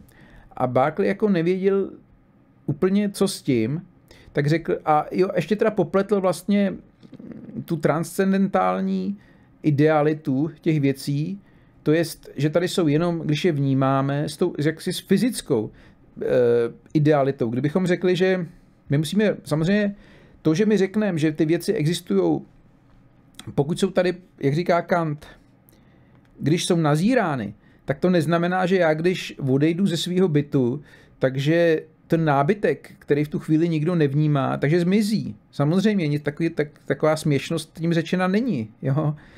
Ne, my už víme, co je tím řečeno. Tím je řečeno, že jako, nebudu to už opakovat, jo? že prostě pokud tady nějaký, není nějaký oko, který jako vnímá barvy, tak prostě nemá smysl mluvit o barvách, protože žádný neexistují. Jo, my potřebujeme nějaký ten subjekt, který to vnímá a pak to tady je. A pak má smysl o tom mluvit. Ale v opačném případě nikoli. Takže Barclay, který už jako potom to nerozdechal ten svůj objev, tak řekl, že Bůh jako všechno vnímá když to zrovna já nebo nějaký jiný člověk nevnímá, takže ty věci nemizí. Ale my musíme rozlišovat mezi tímhletím, že by ty věci měly prostě zmizet fyzicky a tím transcendentálním idealismem. Idealismus je názor, že hmotná, hmotná skutečnost, hmotný svět nemá nějakou absolutní nezávislou existenci. což, což jako skutečně nemá, když si to uvědomíme. Na to přišli právě ti idealisté, nebo řekněme Bákli a potom i Kant, protože když ten čas a prostor zmizejí, tak přirozeně zmizí i hmotný svět. Jo? Čili ta hmota jako nemá samostatnou existenci, e, absolutní, je, existuje pouze podmíněně, ale neznamená to, že je nějakým zdáním nebo nějakou fikcí, že by snad nic takového neexistovalo. Ne, existuje to, ale s tou podmínkou. Jo? A tomuhle se říká transcendentální idealismus. Kant tenhle termín používá. No a teď Kant přednese několik argumentů nebo důkazů, proč tedy prostor musí být a priorní funkcí naší mysli a nikoli něčím na nás nezávislým. Jo, něčím, co by existovalo, i kdyby tady na světě nebyli žádní lidé. My nevíme, jak je to se zvířaty, pravděpodobně to jsou, oni mají taky nějaký, nějaký pojetí, prost, nějaký vnímání prostoru, pro, prostor pro ně evidentně taky existuje. E, že to vidíme z toho, jak se jako pohybují v zásadě stejně jako my. Lidský mozek je organický mozek, ta, jako neliší se zas, tak zásadně od toho zvířecího, ale, ale každopádně platí, že prostor by tady nebyl, kdyby tady na Zemi nebyli prostě žádní jako žádný živočichové, jo? Kdyby tady nebyl ten mozek pro rostliny například. Žádný prostor není, že jo? Rostliny, slunečnice se otáčí za sluncem, čili ona nějak jako život v nějaký podobě v ní je, ale evidentně nebude mít nemá mozek, že jo, a kdyby, kdyby ten, jehož funkcí by ten prostor jako mohl být, jo, jako je to u těch živočichů teda. Čili kdyby na světě nebyli živočichové, minimálně člověk, tak eh, by nebylo času a prostoru. Jo. To je ten eh, výsledek kantových zkoumání, který je vlastně to nejcennější v té kritice asi. A je to šokující, že jo. Představme si, že na světě zbude jeden člověk po nějaký katastrofě, Jo, až covid prostě všechny vymlátí, zbyde jeden člověk a až zmizí, kdyby zmizel, až zmizí i on, nebo kdyby zmizel i on, no tak by zmizel čas a prostor, jo. Čili celý ten svět, ty galaxie, by se jaksi stal ničím. Jo, to je důsledek tady toho, té ideality času a prostoru. Takže, takže teď Kantovi důkazy pro Eh, to, že prostor je a priori v naší hlavě, vrozená funkce lidského mozku. Kant říká, prostor není empirický pojem, není vyabstrahován z vnějších zkušeností. A teďko e, vlastně ten důkaz spočívá v tom, co jsem říkal k tomu, v tom, s tím počitkem. Aby totiž mohly být určité počitky vstaženy k něčemu mimo mne, k něčemu, co se nachází v prostoru na jiném místě, než jsem já, rovněž, abych si mohl představovat jako existující, abych si mohl předměty představovat jako existující mimo sebe navzájem a vedle sebe, musí tu být představa prostoru. Protože v tom oku mojím ty předměty, že jo, tam jsou jako ta sítnice je dost malá, že jo, tam jako oni jsou nahňácaný vedle sebe, ten zrakový věm jako ten počítek samotný, kdybychom ho nějak abstrakcí, abstraktním myšlením od, se snažili, pokusili odizolovat, tak tam, tam žádný velký časový, teda pardon, prostorový rozdíly nebudou. Tam, ne, tam to není 10 metrů od sebe, že jo? Ta věc. Tam je velmi těsně od sebe třeba na, na prostoru, tý, na plošce té sítnice, ale přesto já řeknu, že ty věci jsou třeba, když se dívám z dálky, třeba 50 metrů od sebe. A to není z toho počítku vysvětlitelný. Proto teda ten prostor tady musí být už a priori. Za druhý, druhý argument, nebo důkaz. Ne, nedokážeme si utvořit představu, že prostor není, přestože si docela dobře můžeme myslet, že se v něm nenacházejí žádné předměty.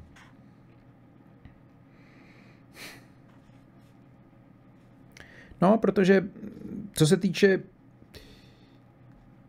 jaksi vnějšího světa, že jak když se zaměřím na nějaké svoje myšlenky, eh, tak tam ten, tak ten prostor jaksi tam není přítomen.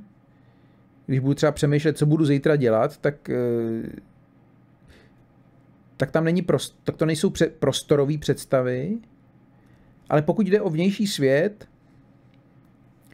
pokud se ptám po, po vnějším světě, tak tam už ten prostor vždycky musí být.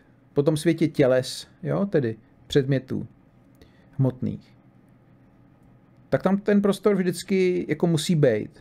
Jo? I když může být prázdný, ale naopak to nejde.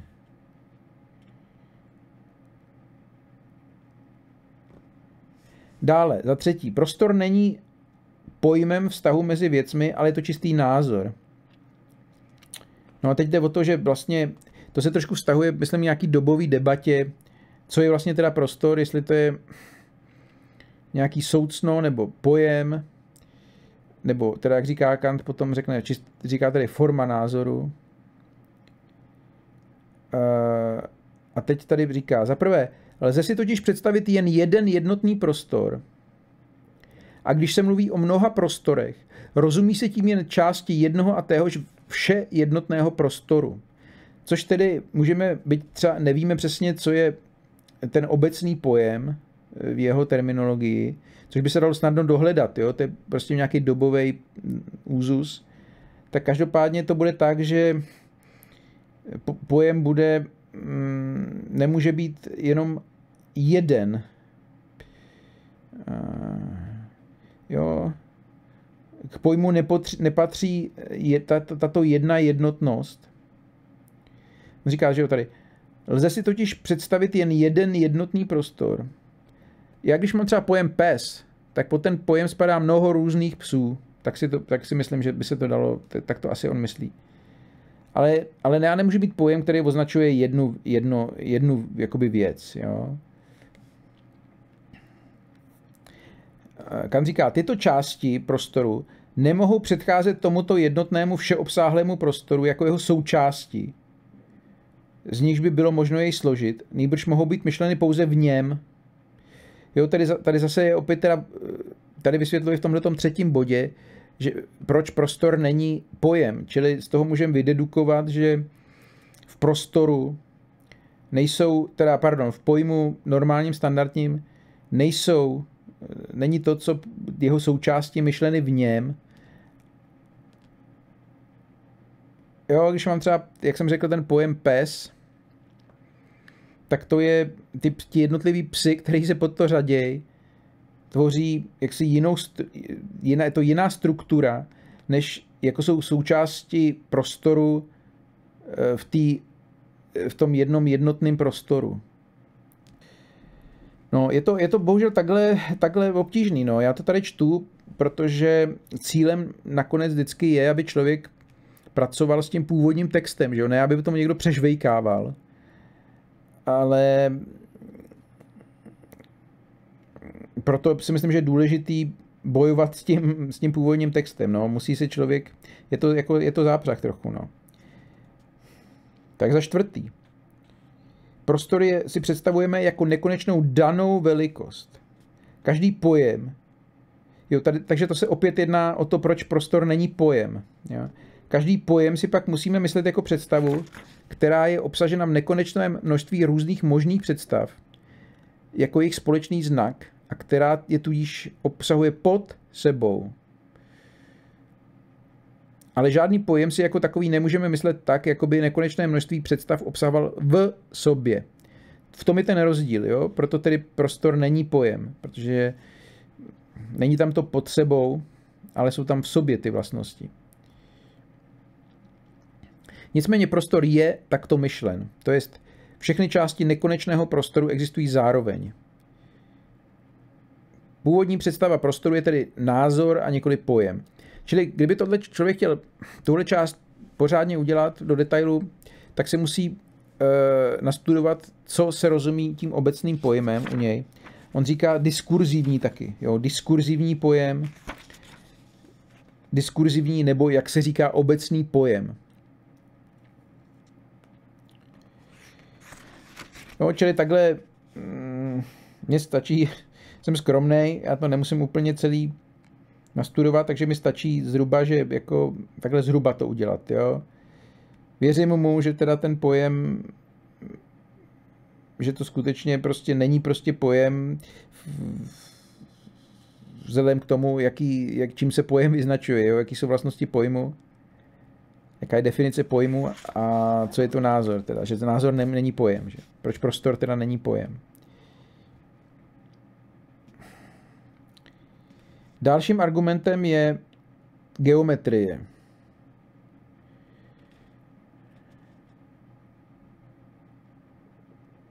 No, geometrie totiž uh, Geometrie je věda, která určuje vlastnosti prostoru synteticky a přesto a priori. A priori. Jaká potom musí být představa prostoru, aby bylo možné jej takto poznávat? Prostor musí být původně názorem, neboť z pouhého pojmu se nedají odvodit žádné věty, které jej překračují. A to se přece v geometrii děje. Tady se dostáváme k tomu důležitému rozdílu mezi syntetickými soudy nebo k důležitému tématu syntetických soudů a priori. On teda rozlišuje analytický a syntetický soudy. Analytické je takovej. Soud je teda spojení dvou pojmů nebo dvou soudů. Například Sokrates je člověk, je spojení pojmu Sokrates, nebo subjektu a predikátu. Pojem Sokrates vlastně, nevím, jestli je pojem, to je vlastní jméno, že dejme tomu takhle, lidé jsou smrtelní, jo? tak to je eh, vlastně spojení dvou pojmů, lidé a smrtelnost, smrtelní. Když třeba spojíme dva soudy, jestliže prší, tak jsou mokré ulice. Jo, to je spojení dvou soudů. Eh, a ten pojem analytický je takový, kde my nerozšiřujeme pojem toho subjektu. Když nám ten předmět někdo řekne, když nám ten soud někdo řekne, analytický, tak my se nedozvíme nic nového, pokud víme, eh, co obnáší ten subjekt. Například ženáč je někdo, kdo zažil svatbu. Jo? Nebo ženáč byl minimálně na jedné svatbě. Třeba. Tak jestliže já vím, co je, kdo je to ženáč, no tak to je někdo, kdo se oženil, to znamená, musel být minimálně na jedné svatbě, tý svojí. Čili ten predikát nijak nerozvíjí to, co je řečeno v tom pojmu. Ten Kantův příklad nějaký vlastní, tam, co tam má, je všechna tělesa jsou rozprostraněná.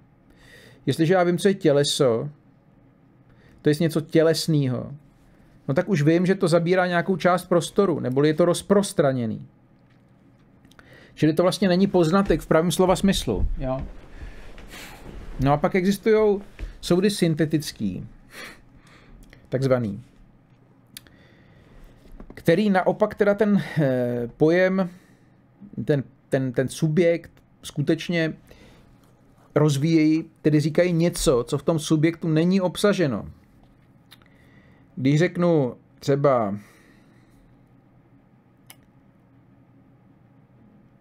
To jsou všechny empirické soudy. Jo. Když řeknu třeba, lidé jsou ohroženi klimatickou krizí, tak je to syntetický soud, protože v tom pojmu lidé nic takového není, žádná klimatická krize. To prostě musím zjistit ze zkušenosti. Takže ten predikát v tomto soudu rozšiřuje ten subjekt, něco k němu přidává, co v něm není. A přidává to k němu na základě zkušenosti. Já potřebuji tu zkušenost, abych mohl ten syntetický soud provést. Ehm, a teďka tady existuje taková zajímavá a klíčová věc u Kanta, že on říká, existují takovýhle syntetický soudy, to je ty, který jo, přidávají něco k tomu subjektu navíc, ale teď eh, ty soudy nejsou zkušenostní, jo, ku podivu, protože existují tedy soudy, které jsou syntetický, ale zároveň a priori. To znamená neskušenostní. Čili odkud my bereme tu možnost, že, při, že rozšíříme ten subjekt, když nemáme tu zkušenost? Na základě čeho to rozšíříme? Protože by se zdálo, že ty syntetické soudy jsou možný jenom zkušenostní. Jo, že já potřebuji něco zkušenostně zjistit, že tady máme, já jsem koukal na Wikipedii, mají uh, příklad dinosauři vyhynuli, jo, syntetického soudu, tak jako to já, to, mus, to musíme zjistit zkušenostně. To se, to, to se dozvíme z nějakých vykopávek nebo něco. Jo? Takže by se zdálo, že u syntetických, syntetických soudy musí být všechny jako zkušenostní, empirický. Ale ono právě ne. On říká, že existují syntetické soudy a priori, tedy mimo zkušenostní, předzkušenostní. Což jsou právě soudy matematický, geometrický eh, i aritmetický. To byl jeho, to byl vlastně taky Kantův objev, protože v té době se mělo za to, že to jsou, smysly, že to jsou soudy analytický. My když máme soud, že v trojuhelníku je součet úhlů 180 stupňů, tak eh, to není analytický soud, který by byl obsažen v tom pojmu trojuhelníku. To je takový jako jemný, ne úplně už jednoduchý poznatek. Eh, my totiž musíme prostě v té hlavě ten trojuhelník si představit nějaký a pak v hlavě vlastně může si třeba představit, já nevím, pravouhlej nebo nějaký prostě trojuhelník, nějaký standardní, ale pak jako ho v hlavě dělám variace na ten trojuhelník, jo, zvěč, zvyšuju, zvětšuju jeden úhel a ty dva protilehlý se zmenšují. Nebo naopak, ty, ty dva prostě zvětším, čímž se, čím se mi zmenší ten protilehlý. A vidím, že ten, e, že ten součet je furt stejný. Jo. Nebo Pythagorova věta třeba, to je ten samý princip. Jo. Že ten součet těch čtverců nad těma, jak se říká, já jsem se říká odvěsny a přepona, nebo přepony a odvěsna, v, tra, v pravouhlém trojuhelníku je nějaký, jo? tak já si to musím v té hlavě sestrojit a vlastně to nahlídnout, jo? nahlídnout tu pravdivost. Z pojmu pravouhlého trojuhelníka já nevyvodím pravdivost toho, že ty součet těch dvou čtverců se rovná tomu, tomu třetímu. E, já si to musím v té hlavě představit prostě, jo. A čili to, že si to představím v té hlavě, znamená, že tam provedu tenhle ten prostorový, ta představa v té hlavě je prostorová. Jo, čili já, já tam provedu nějaký prostorový relace, srovnání nějakých prostorových relací. Já v té hlavě pracuju s prostorem, což je to, co umožňuje ty, tu geometrii. Eh, zrovna tak aritmetika. U té geometrie je celkem viditelný, že to je nauka zabývající se prostorem, prostorovými útvarama a jejich prostě relacema. Ale u té aritmetiky je mnohem méně zřetelný, že se zabývá časem, ale je to zrovna tak. Ale možná ten čas si necháme na, ten, na, ten, na tu kapitolu, tu aritmetiku si necháme na tu kapitolu o čase. Tady geometrie, říká Kant, je důkazem toho, že prostor je v hlavě a priori, protože my tu geometrii neprovozujeme jako empirickou vědu. My když si třeba eh, že jo, ve škole při matematice se eh, rýsuje že jo, do sešitu ty, ty malůvky, ale to je jenom ilustrace toho, těch skutečných empi, eh, geometrických objektů, který máme všichni v hlavě. Jo, ten učitel řekne, myslete si trojuhelník o nějakých rozměrech. A každý si to představí, protože má v hlavě, nebo třeba, já nevím, jehlan, jo, nějaký třírozměrný, uh, třírozměrný útvar.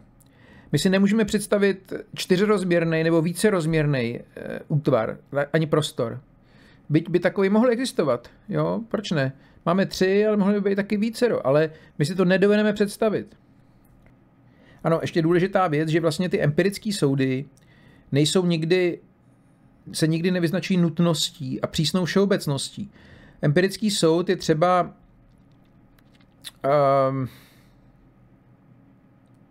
když, to je taky z Kanta, když, eh, když kdykoliv slunce zahřívalo kámen, tak kámen se ohřál. Nebo teplota kamene se zvýšila. Ale to znamená, kdykoliv jsem tohleto měl možnost pozorovat, tak, to, tak, tak tomu tak bylo. Ale ne, není v tom eh, obsaženo, že to tomu tak být musí. To je ta nutnost. Ani to, že tomu tak bude vždycky v budoucnu. To já nevím. Jo, čistě empiricky. Ale tyhle ty e, soudy geometrický, ty syntetický a priori v geometrii, že Pythagorova věta vlastně, vlastně se vyznačuje nutností a všeobecností. Já vím bezpečně, že platí pro všechny pravouhlý trojuhelníky. Jo? Já si to představím v té hlavě a vidím, že jako ať ten trojuhelník pravouhlý bude malý, velký, tak vždycky ty poměry zůstanou zachovaný. Čili je tam tahle ta vlastnost těch dvou, těchto těch, tyhle, jak říká Kant, apodiktičnosti. To je ta nutnost. Eh, to, že má prostor tři rozměry, je apodiktická věta, která by nikdy nemohla platit, kdyby ten prostor byl něco empiricky poznaného. Já prostor nepoznávám tak, že jdu do přírody a tam někde najdu prostor a zjistím, že má tři rozměry. Jako, jako třeba zjišťuju, že voda, má, že voda začne mrznout při 0 stupních Celsia, k tomu potřebuji nějaký experiment, jo, zkušenostní. To je zkušenostní poznatek. Ale to, že, pro, že prostor má tři rozměry, to není zkušenostní, to já vím dopředu. To já vím bezpečně, že jiný prostor pro mě nemůže jako existovat. Jo? Závěry, který z toho, závěry, který z toho vyvodí Kant. Prostor není vlastnost věcí, jak jsou o sobě, nebo věcí o sobě. Nepřináleží k ním samým. Kdybychom a nepatří, nenáleží k předmětům, když odhlédneme od všech subjektivních podmínek názoru. To znamená, když by teda ten člověk eh, byl poslední na zemi nějaký, který by to vnímal a pak by zmizel i on, tak by zmizel i ten prostor. Jo? To on říká takhle šroubovaně tady tou větou. Prostor není nic jiného než pouhá forma všech jevů, vnějších smyslů. Jevy, jevy vnějšího smyslu, vnějších smyslů, to jsou ty předměty, kterými vnímáme jako mimo nás. Jo? Teda o prostoru, o rozprostraněných soucnech a tak dále, můžeme tudíž mluvit jen z hlediska člověka. Nevezmeme-li v úvahu subjektivní podmínku, za níž jedině můžeme získat vnější názor, totiž, že můžeme být předměty afikováni, neznamená představa prostoru vůbec nic. Čímž je řečeno to tež, co předtím. Ta subjektivní podmínka, že můžeme být předměty afikováni, to je ta naše smyslová, vníma, smyslová vnímavost s, to, s tím prostorem, co by svou formou.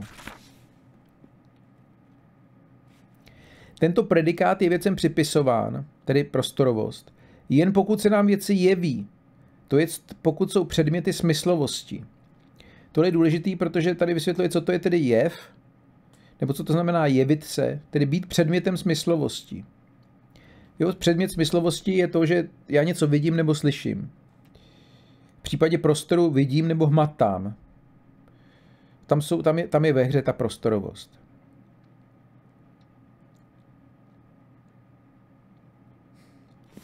Pokud jde o jiný bytosti, například nějaký mimozemšťany, eh, tak my nevíme, jak oni, jak oni vnímají věci. Jestli taky v prostoru, nebo nějak jinak. Nebo v nějakém třeba jiném prostoru. My mohli mít třeba více rozměrný prostor.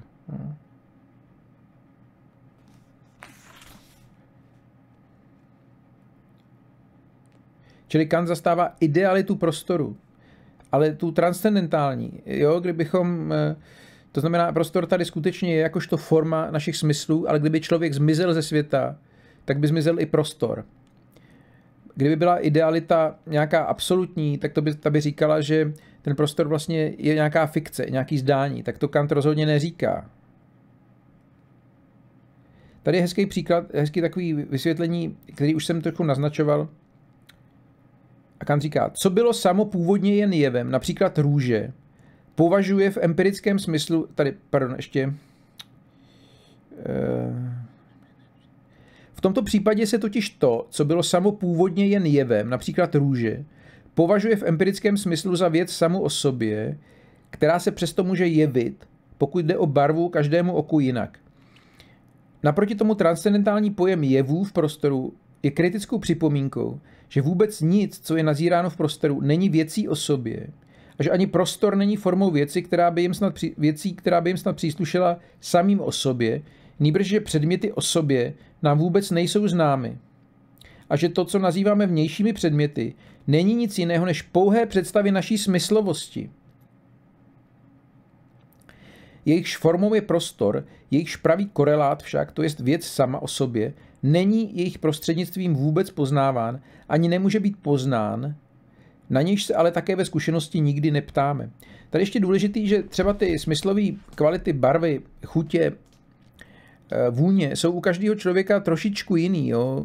Někdo je barvoslepý, někdo vidí hůř nějaký barvy, někdo má poškozený čich, nebo má takový, nebo makovej, takže tam se to jako mírně liší, ale ten prostor a čas, v tomto v tomhle případě teda zatím jenom prostor, vlastně u, u všech lidí stejný, že jo? Žádný člověk si nedovede představit šestirozměrný prostor.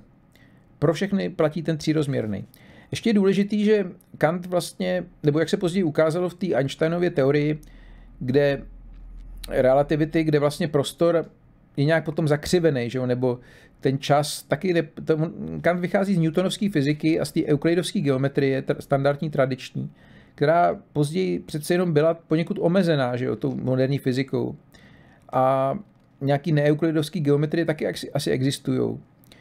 Eh, já o tom moc nevím, jo. Vím, že akorát za nějakých jakoby extrémních podmínek to přestává platit. Ehm, třeba ty černé díry ve vesmíru, tam se ten prostor taky nějak hroutí, že jo. A tak nějak to myslím je. Nicméně, myslím si, že pořád platí, což by se dalo použít jako protiargument vůči Kantovi, jo, ale myslím si, že pořád platí to, že my si opravdu nemůžeme představit, představit jiný prostor než ten třírozměrný, názorně, a v tomto ohledu prostě ten Kantův argument pořád platí. Jo? A když se řekne, že je prostor zakřiven, tak je to hezký, ale my si to nedovedeme představit nijak. Že jo? My si dovedeme představit zakřivený, zakřivený nějaký objekt v tom třírozměrném prostoru, ale to je tak celý. A vlastně ta a priorita prostoru je dokázaná už, myslím si, velmi elegantně z toho počitku pouhýho. On nepotřebuje geometrii, euklidovskou k tomu, O jemu stačí ten počítek. Prostě to, že já mám zrakový, zrakový věm, který je vysvětlený z, tý, z toho, že teda ta sítnice je uvnitř mýho oka. A čili pokud já mám na základě toho říct, že tady přede mnou je nějaká věc mimo to oko, no tak prostě jednoduše ten prostor tam musí k tomu přistoupit eh, z toho mého intelektu, aby vůbec něco takového bylo možné.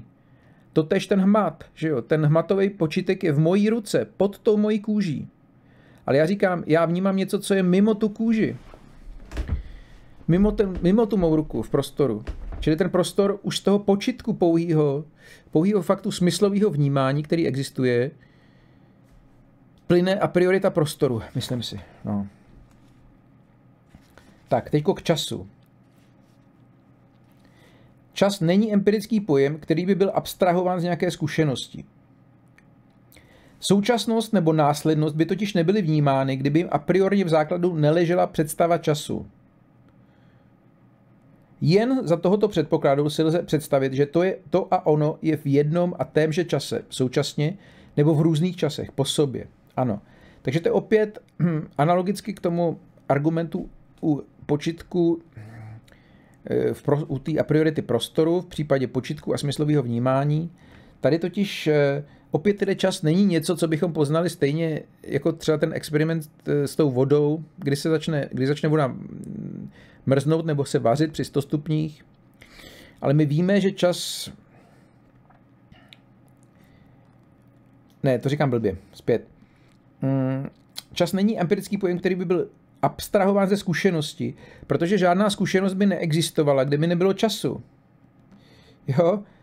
On říká vlastně současnost nebo následnost. Ale to my potřebujeme ke zkušenosti, že jo? Zkušenost je nějaký průběh, to, má, to je něco, co trvá v čase. Musí to nějak začít, nějaký zkušenostní prožitek, musí začít, to znamená, je nějaký okamžik, kdy ten zkušenostní prožitek tu není a pak začne. Čili to předpokládá čas. My bychom dokonce mohli říct, že eh, to, že máme počitky, jo, už předpokládá čas. Čas je nutná podmínka toho, abychom vůbec si byli vědomi toho, že máme nějaký počitky. Protože ten počítek musí nějak začít, abych já ho odlišil od něčeho ostatního.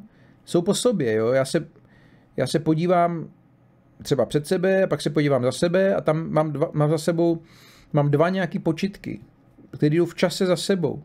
Kdybych neměl čas, tak já nemůžu určit, co je dřív a co později. A dokonce ani, by ne, ani bych nemohl mít žádný počítek, protože každý počítek nějakou dobu musí trvat. To znamená, musí vyplňovat čas. Takže jak bych měl jenom smyslový počitky, smyslový orgány a neměl tu funkci času ve svý mysli, tak já si těch počitků jako, já je vlastně nebudu moc mít ani. Protože ty počitky musí vyplňovat nějaký čas, musí chvíli trvat. Čili já potřebuju ten čas. Jo? Počitek smyslový, který není v čase, by pro mě nebyl žádný počitek. Nebyl, byl by to, bylo by to nic. Nic by to pro mě nebylo. Současnost a následnost je něco, co patří k základní struktuře naší zkušenost, zkušenostního vnímání. Jo? A k tomu potřebujeme čas. Tedy čas je a priori. Za druhé, čas, zase, on to dělá analogicky jako ten, s tím k tomu prostoru. Čas nelze zrušit, ale můžeme vyjmout jevy z času.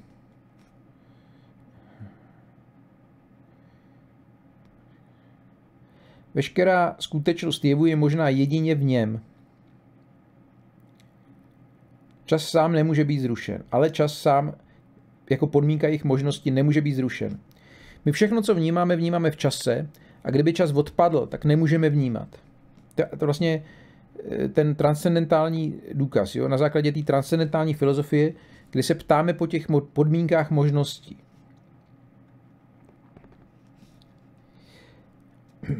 Dále, čas má jen jeden rozměr, což je tedy opět apodiktická věta, která nemůže být dána nikdy zkušenost, ze zkušenosti. Různé časy nejsou zároveň nejvíc po sobě. Tyto zásady nemohou být odvozeny ze zkušenosti, neboť ta by nezaračovala ani přísnou obecnost, ani apodiktickou jistotu. Mohli bychom říci, tak tomu učí běžné vnímání. Nikoli však, tak tomu musí být. Jo, tak to je to, co, co už jsme si řekli. Opět, čas není pojem, ale forma smyslového názoru. Tady to opět tedy staví na tom, co je to pojem, což přesně teďko úplně nevím, jak definuje diskurzivní pojem, tak bez toho se obejdem.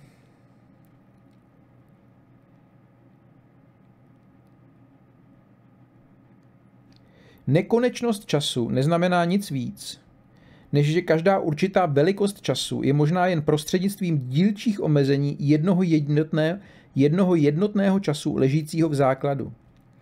Původní představa času proto musí být dána jako neomezená.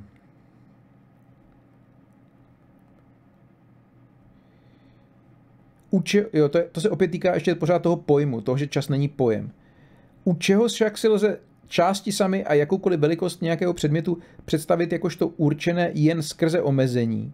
U toho nemůže být celá představa dána pojmy. Neboť ty obsahují dílčí představy. Nejbrž musí jim ležet v základu bezprostřední názor. To znamená opět vymezení vůči pojmu. Nekonečnost času. No. Původní představa času je dána jako neomezená, neboli tedy nekonečná. Že já po každém okamžiku, kdyby někdo řekl, že čas má začátek, tak já se zeptám, co je před ní, co bylo před tím začátkem. A co bylo před tím? A co bylo před tím? A takhle do nekonečna. Jo, to, takhle nějak to je. No.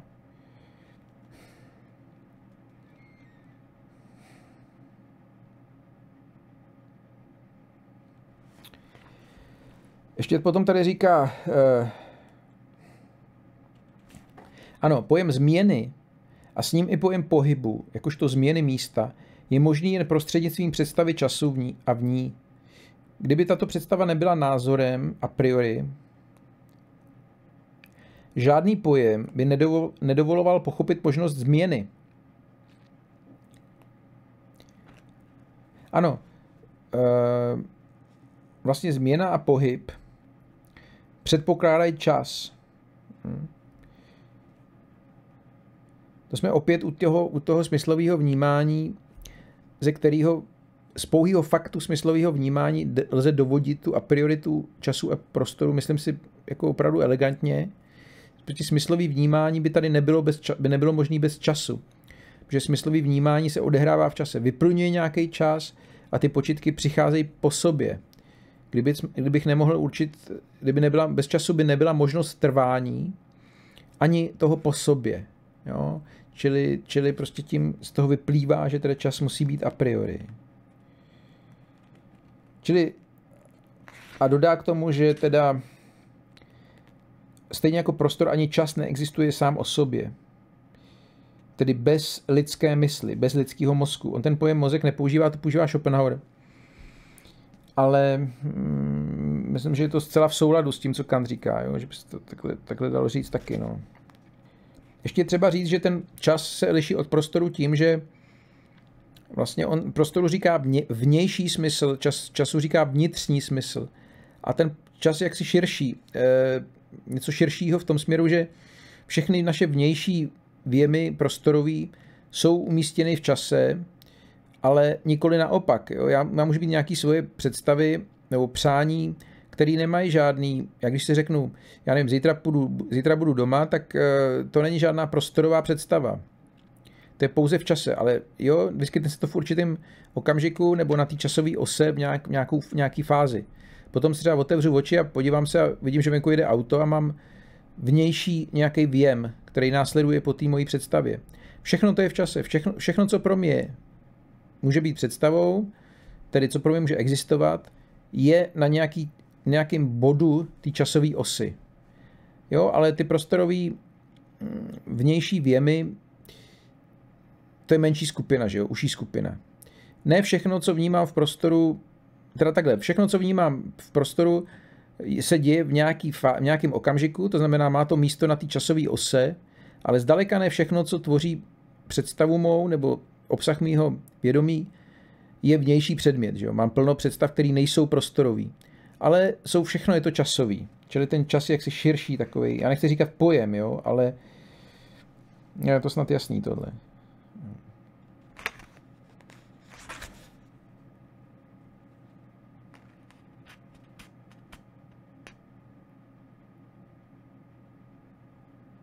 Jo, a tady říká tedy, že čas sám o sobě mimo subjekt, tedy mimo člověka, není ničím.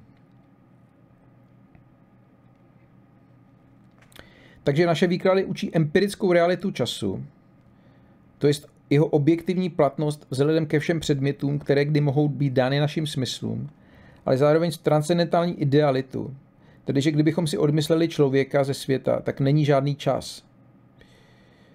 To je naprosto zásadní, zásadní poznatky to jsou, jo, protože ty otázky věčnosti a pomíjivosti tvoří základní, jedno ze základních témat veškerého filozofického uvažování.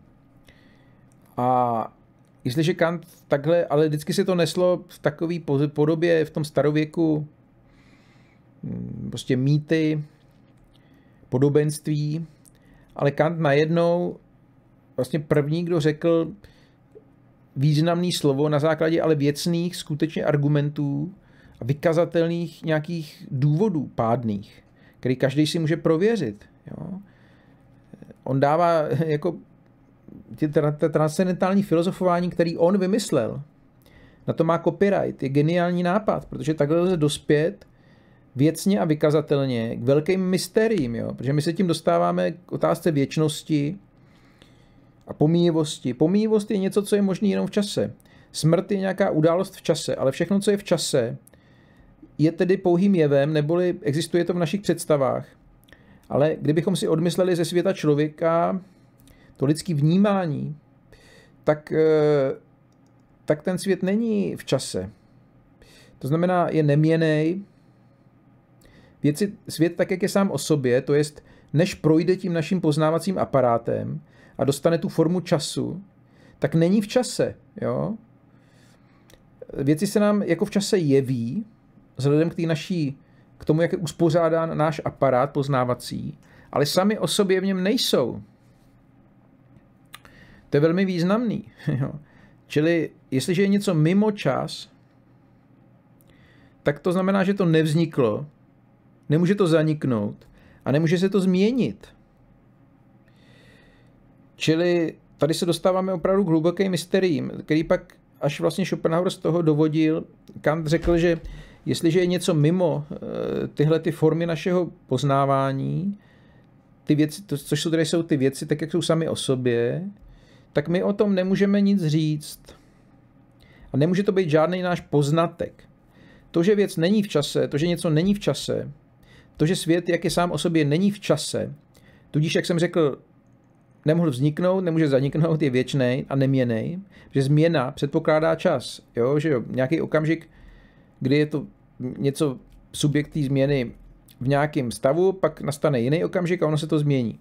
Ale bez času ne, se nemůže nic změnit. Čas je podmínkou možnosti změny. Čili my už víme, tady z té estetiky vyplývá, že tedy čas, že tedy svět, jak je sám o sobě, to je odhlednuto od toho, jak my ho vnímáme, není v prostoru a čase.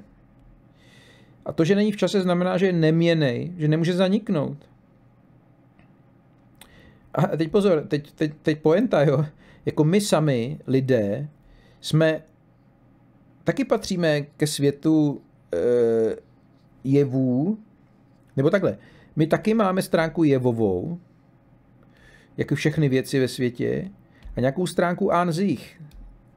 My se my sami taky vnímáme v čase, ale tak, jak jsme sami o sobě, tak v něm nejsme. Já když vidím mýho souseda Frantu, tak já ho vidím jako nějakou bytost, nějaký těleso, který je v prostoru a čase, stejně třeba jako kámen u cesty nebo strom, jo, já ho vnímám úplně jako jiný věci, no ale on se mi v čase a prostoru pouze jeví, ale sám o sobě, co do té svý, řekněme, metafyzické podstaty, tam není. To znamená, smrt se ho netýká, jak je Anzich. A dokonce ani narození. I my, stejně jako všechny ostatní věci, jsme v čase a prostoru jakožto jevy. To, tudíž jako to, co tak jak po té, co tedy projdeme tím svým, pozna- skrz ten filtr, se nám, tak se nám jevíme skrz ten náš poznávací filtr, ale pokud odhledneme od toho filtru, tak tam nejsme. To je, to je ten zásadní důsledek té Kantovy teoretické filozofie, ten hlavní, můžeme říct. Řek, myslím si. Uh, ještě jednou to zkusím říct. Ta, ta teorie toho jevu a věci o sobě u Kanta, co to znamená? Já když jdu a u cesty se válí kámen, tak ten kámen je nějaký, nějaká věc, která vyplňuje část prostoru a která trvá v čase pro mě. Tak já ho vnímám. A má všechny ty smyslové kvality. Jo, nějakou barvu, kdybych se na něj sáhnul, tak vidím, že jako neprostupný, že jo. Mohl bych si taky k němu čichnout nebo ho volíznout a zjistil, že má nějakou chuť. A tečka, že jo. Tím se to pro mě vyčerpává. Je to tedy nějaký těleso časoprostorový s nějakýma vlastnostma smyslovejma. No jo, ale jak jsme si přečetli, tak u Kanta, jak jsme se od Kanta dozvěděli, tak ty smyslové kvality bohužel a i jsou, nebo takhle, ten čas a prostor, ten časový a prostorový rozměr nebo dimenze té věci, toho kamene, to, že vyplňuje prostor a že vyplňuje čas nějaký, je tedy stejně subjektivní jako ty ostatní jeho smyslové vlastnosti. Až na to, že tedy ty vlastnosti smyslové lidi vnímají různě, zatímco to, že vyplňuje prostor nějaký a že trvá v tom čase, že se nám jeví jakožto trvající v čase, to je pro všechny lidi stejný. Ale když si odmyslíme člověka, sebe samý, který ho vnímáme, no tak ten prostor, tak ten prostor a čas zmizej a ten kámen tedy zmizí jakožto časoprostorový soud s těmi smyslovými kvalitami. Jo? To je jako, to je bomba, že jo, tohleto. Jako velmi radikální vlastně teorie. A ten kámen, ale to není něco, co já bych si vycucal z prstů, není to produkt nějaký mý představivostí. To je skutečně něco, co tam je. Ten kámen není, jo, jak když si představím v hlavě třeba nějaký kámen, který si vymyslím ve své představivosti, a pak na něj zase zapomenu, tak ten kámen samozřejmě nikdy neexistoval. Jo? To je produkt mojí obrazotvornosti. Ale když já jdu po cestě a ne, nemám zrovna nějaký halucinace, tak tam skutečně vidím něco, co tam je a co není mým produktem, co tam prostě se někde nějak jako zjevilo, že? To, je, to přichází prostě od jinut, než z mý mysli. Moje mysl si to nevymyslela. Tady, tady je něco mimo mě, jo? ten kámen je něco mimo mě, jenže já když se ptám, co je ten kámen sám o sobě, to jest mimo čas prostor a ty smyslové kvality, No tak na to nemám odpověď, protože to pro mě není nic, že jo. Jestliže dám čas, pryč, pryč čas a prostor, tak, tak prostě nezbyde nic. No jo, ale, ale přesto ten kámen je něčím o sobě, to vyplývá tedy z toho, že já jsem ho si nevymyslel, není to můj produkt, za prvé, a z druhý, druhá premisa zní, máme nějaký, má nějakou smyslovost, skrz kterou se mi ten kámen jeví jakožto to, to, to třírozměrný časový soucno. Ten náš poznávací aparát je určitý filtr, skrz který ta věc se nám nějak zjeví. Ale kdybychom se ptali, jak ta věc, jaký má vlastnosti, eh, bez ohledu na ten filtr, skrz který se nám jeví, kdybychom se pokusili si odmyslet tenhle ten filtr a ptali se, jak je ta věc sama o sobě, no tak na to nelze odpovědět, protože, nebo my nevíme, protože můžeme pouze říct, že není v čase a prostoru a nemá ty smyslové kvality. Ale to už tím pádem teda to pro nás není nic pozitivně za to. Jo, nemůžeme říct, že má takový nebo makový vlastnosti. Můžeme z toho říct, můžeme z toho, že není, není v čase usoudit, že je tedy nevzniklá, nemůže zaniknout. A, a je neměná po té stránce sama o sobě, jak je sama o sobě. A není rozprostraněná, že jo, v prostoru. No. Čili to je to o sobě anzích, jakýsi metafyzický skutečně rozměr, metafyzický ve smyslu, že to je za nebo mimo tu vnímatelnou přírodu. Ta metafyzická stránka věcí. To jsou velmi jako radikální, šokující teze, a je dost těžký to, a to jak nějak si představit, že jo? Nějak tomu, nějak tomu e, porozumět a e, nějak intuitivně tomu porozumět. Představit si to, co teda vlastně ta teorie toho jevu a ty věci o sobě jako říká. No. Já se to pokouším vysvětlit, co to jde, ale je mi jasný, že to je jako těžká věc. No. Ještě tady chci, je tady takový schrnutí, pěkný. A... Ano, tady je paragraf 8, obecné poznámky k transcendentální estetice. A tady chci ještě odcitovat jednu větu. Tady říká, chtěli jsme tedy říci, že veškerý náš názor Jo, to znamená to empirické nazírání věcí okolo nás, není ničím jiným než představou jevu. Že věci, které nazíráme, nejsou sami o sobě tím, jako co je nazíráme, ani jejich vztahy nejsou sami o sobě takové, jaké se nám jeví. A že kdybychom odstranili náš vlastní subjekt, nebo i jen subjektivní uspůsobenost smyslů vůbec, zmizela by veškerá uspůsobenost, všechny vztahy objektů v prostoru a čase ba zmizel, zmizel by i sám prostor a čas. A že věci, jakožto jevy, nemohou existovat sami o sobě, nejbrž jen v nás. Jak se to má s předměty o sobě a odděleně od veškeré této receptivity naší smyslovosti, nám zůstává zcela skryto. Jo, čili tímhle způsobem on říká to, co já jsem se teďka pokoušel říct. Že když my odstraníme lidi ze světa, tak zmizí čas i prostor. A tudíž přirozeně i ty hmotné věci, které ten prostor vyplňují zmizejí jak, jakožto hmotné věci. Zůstanou po té své metafyzické stránce nebo té stránce o sobě, která je mimo čas a prostor.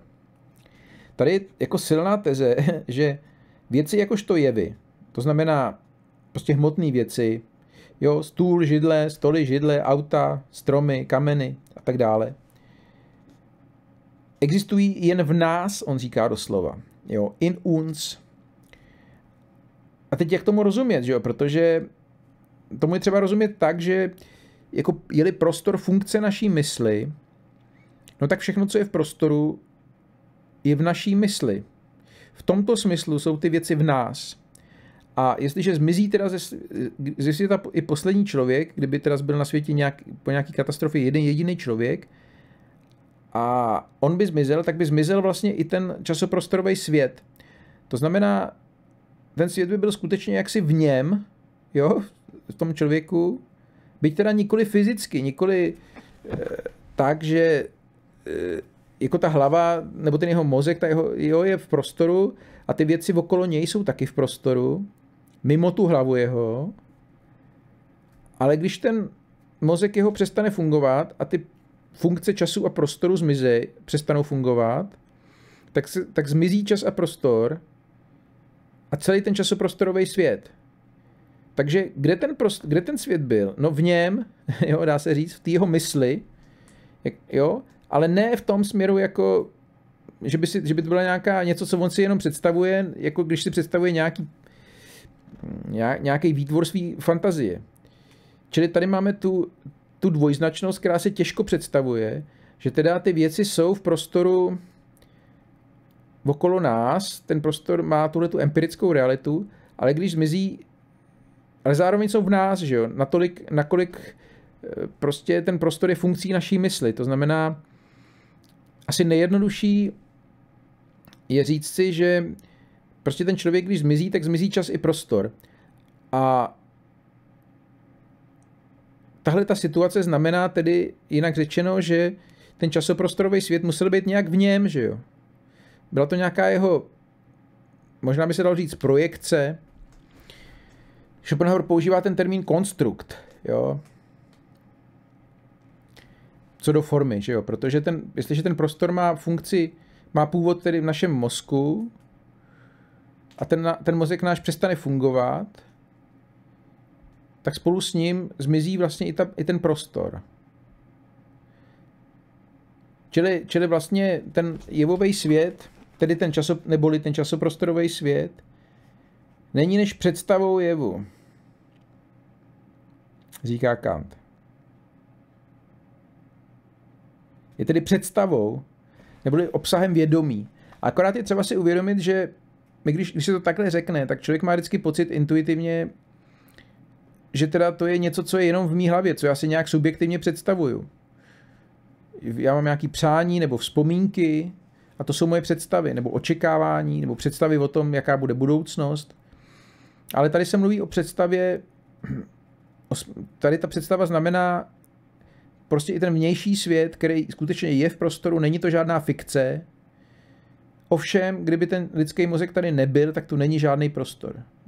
No, jako líp se to asi popsat, nebo líp, možná líp jo, ale nevím, jak, jak, jak, jak ještě jinak eh, to eh, nějak vysvětlit, aby to bylo intuitivně pochopitelné. Je to dost těžký, jo? je to hodně těžký, vlastně si, jak si to představit. No. Možná, možná na to jít přes ten filtr, jo? Že, že teda ten náš filtr znamená, že ten, ten, ten mm, prostor se nám nějak, ten svět se nám nějak zjeví. Ještě ten Schopenhauer vlastně tohleto vysvětluje líp než Kant, tak jako představitelnějc, intuitivnějc. A on říká, že třeba když se mimino narodí, nebo takhle, když operují třeba slepce, že on začne vidět, tak najednou on zprvu nevidí jako prostorový předměty, což je nějak i zdokumentovaný. Jo? On jako vlastně nevidí zprvu uh, předměty jednotlivý, ale vidí nějakou barevnou masu, jo, nerozlišenou. A teprve, když vlastně ten, ta mysl se naučí ten prostor s, těmi, s těma počitkama zrakovými používat, sladí to nějak, tak najednou ten prostorový svět vyvstane před člověkem, před tím člověkem. A podobně u mimina, když se narodí malý dítě a poprvé otevře oči, tak taky vidí jakoby jenom nějakou nerozlišenou barevnou masu, ale až později časem, ještě za pomoci hmatu, ono postupně začne zapojovat, ono se vlastně naučí vidět ten prostorový relace, které tam zprvu nejsou. Tohle je taky nějak, tohle taky popisuje jako výborným způsobem, pak by to nebylo špatný možná připomenout nějak, no. Že vlastně to mimino vohmatává nějaký třeba kostku, jo, nebo já nevím, krychly, a vlastně z těch hmatových věmů, z těch hmatových, no ano, věmů nebo počitků, tak jak tu, tou, tou kostkou otáčí v té ruce, tak zapojuje tu funkci prostoru. A ta kostka jakoby vyvstane. On začne vnímat, že je tady jakoby něco jako kostka. Jo? A podobně vlastně s tím zrakem, z té masy barevný, teprve když ta forma toho prostoru která je v tom rozvažování, se zprovozní nebo se nějak malinko vytrénuje, tak najednou vyvstanou jakoby ty prostorové předměty. Jo, na základě těch počitků pouhých. To je jako extrémně zajímavý a velmi jako obtížný na, na, na vysvětlování. No.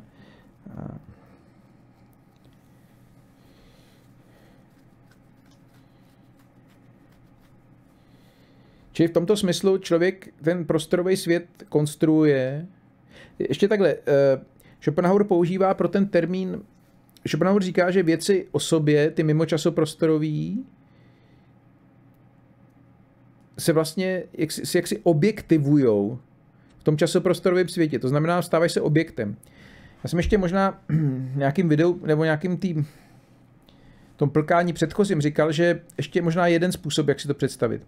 Já když koukám na ten kámen, který se mi nějak jeví, jako časoprostorový třírozměrný soucno, tak kdyby vedle mě přistal mimozemšťan, jo, který by měl úplně jinak fungující poznávací aparát, tak on by neměl těch pět smyslů, velmi pravděpodobně, a čas a prostor, ale měl by něco jiného, nějaký jiný smysly, a místo času a prostoru by měl něco jiného. Jo? Čili, čili ten kámen by se mu nezjevil jakožto takováhle třírozměrná věc v čase s nějakou barvou a tak dál, ale prostě nějak zásadně jinak. Jo? Je takový Matrix trochu. Prostě nebyl, nebyl by v čase a prostoru ta věc, ten kámen. V čem by byl, to nevíme. Jo? My nic kromě tohohle, kromě těchto forem nemáme. Ta smyslová zkušenost vnější je prostě takováhle, má tyhle ty dvě formy, no ale mohly by být nějaký jiný ještě. Že u těch smyslů je to jasný, tam máme pět smyslů, ale mohli bychom mít taky 10 nebo 157. Tam je to taky kus nás představitelný. U toho času a prostoru je to hůř představitelný, ale taky teoreticky, že jo? Tak prostě oni by neměli čas a prostor, ale nějaký jiný formy. Takže oni by ten kámen nevnímali něco jako, jako něco rozprostraněného, ale nějak úplně jinak. Jak to nevíme.